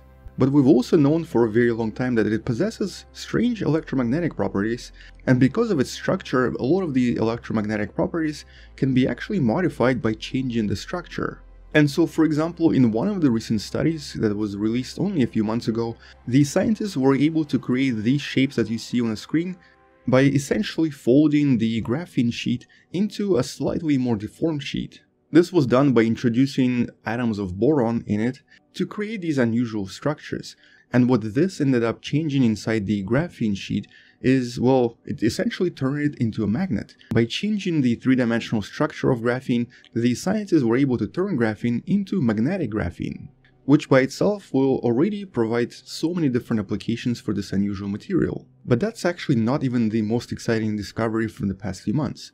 The most exciting discovery is in regards to something that many different physicists, including the famous Richard Feynman, always believed to be kind of impossible, essentially finding a way to generate energy from what's known as Brownian motion, from the motion of the particles themselves. If you remember from the chemistry class, Brownian motion is defined as this random activity of different atoms and different molecules which essentially results in a completely impossible to predict um, motion of particles, something that for example increases as you increase temperature and decreases as the temperature drops closer and closer to the absolute zero. And naturally by itself, there is really no way for us to somehow generate work or energy out of this motion. Because it's unpredictable, because it's in every single direction, it's just kind of impossible to turn this into something useful. Which is of course something that most physicists believed for a very long time but it looks like that particular belief might be broken now. Once again, due to a discovery that was made only a few weeks ago that you can also read more about in the paper in the description below. And this time, the scientists from University of Arkansas developed a very interesting circuit able to capture the Brownian motion of graphene and essentially turn it into electrical power. Not a lot of power, but power nonetheless. And as you can see in this animation from the Delft University of Technology, graphene is able to exhibit a lot of different types of motion, and some of this motion, even though technically it is Brownian motion, doesn't actually act like a typical gas or fluid. It's a lot more defined and a lot more predictable, and because it's only one single sheet, we can hypothetically create a very unique circuit that essentially captures the motion of graphene as it sort of wobbles back and forth and then generates energy based on this motion, which is essentially the simplification you're looking at right here. This circuit was able to generate power and create tiny amounts of current that hypothetically, if you were to scale it to large proportions, could actually provide relatively large amounts of energy by essentially using nothing but the Brownian motion itself. In other words, the only thing that's happening here is the natural oscillations of atoms. That's where the work is coming from. But because they're more orderly and because they sort of generate predictable motions, and also because graphene is electroconductive and is able to send electrons back and forth, the scientists in the study were able to definitively show that tiny tiny amounts of current and voltage were produced when the graphene was just vibrating and essentially nothing else was affecting it. Now, because the amounts of current we're talking about were like in nano ampere and also nanovoltages, we're still not there yet where we can use this to, for example, power your house or, for example, provide free energy for your electric vehicle. But because tiny amounts of current can then become larger amounts of current if you use more graphene, one day we could actually use this to produce tremendous amounts of energy completely for free by using nothing but carbon itself which is kind of ironic because right now the biggest issue with a lot of electrical production is the excess of carbon that's produced and released into the atmosphere. So it's very possible that this is actually the solution we've been looking for. Finding a way to turn carbon back into graphene and then start creating energy that way. Now this is still really really sort of far in the future and also we don't even know if this is going to be an effective way to generate energy but right now the scientists are proposing that their current discovery could hypothetically be used in some of these smaller devices, like for example powering something that requires a relatively small amount of current, such as maybe pacemakers or a lot of other tools where batteries cannot be replaced quite easily, but require a long-term functionality and relatively small amounts of current. And according to them, you could technically place approximately a million of these circuits in a tiny millimeter by millimeter square and this would hypothetically provide just enough electricity to power some of the low power devices. But though the theory itself is definitely there and it does seem to make a lot of sense, the problem right now would be making that million circuits. Because when it comes to manufacturing massive amounts of graphene and especially creating these tiny circuits, we're still really really far from being able to do so effectively. As a matter of fact, using a tape right here might be the most effective way we have right now. And all of the graphene that was uh, created last year, for example, was only mostly used for research purposes. Only about $9 million worth of graphene was produced, and that's actually very, very little, considering that we would need so much more, thousands and actually millions times more, just to create a tiny little battery. So in that sense, this is still a very expensive and somewhat time-consuming process. Even though the theory is there and we can hypothetically produce infinite energy by just using Brownian motion of graphene, we just don't really know how to make it effectively just yet. And that's of course the next step and potentially the next Nobel Prize to be won by someone else who finds a very effective way of producing massive amounts of graphene that we can then use to create so many different tools. With hopefully the first such tool being an extremely effective space elevator where the elevator cable would be made from massive amounts of um, graphene. So far graphene seems to be the best candidate for creating such a device. Nevertheless, this is a super exciting discovery and will hopefully in the next few decades help humanity to overcome both the carbon excess problems and the energy problems we're going to be having in the next few decades. But I guess until we learn more about graphene or until we discover something else exciting about this unusual material, that's all I wanted to mention in this video.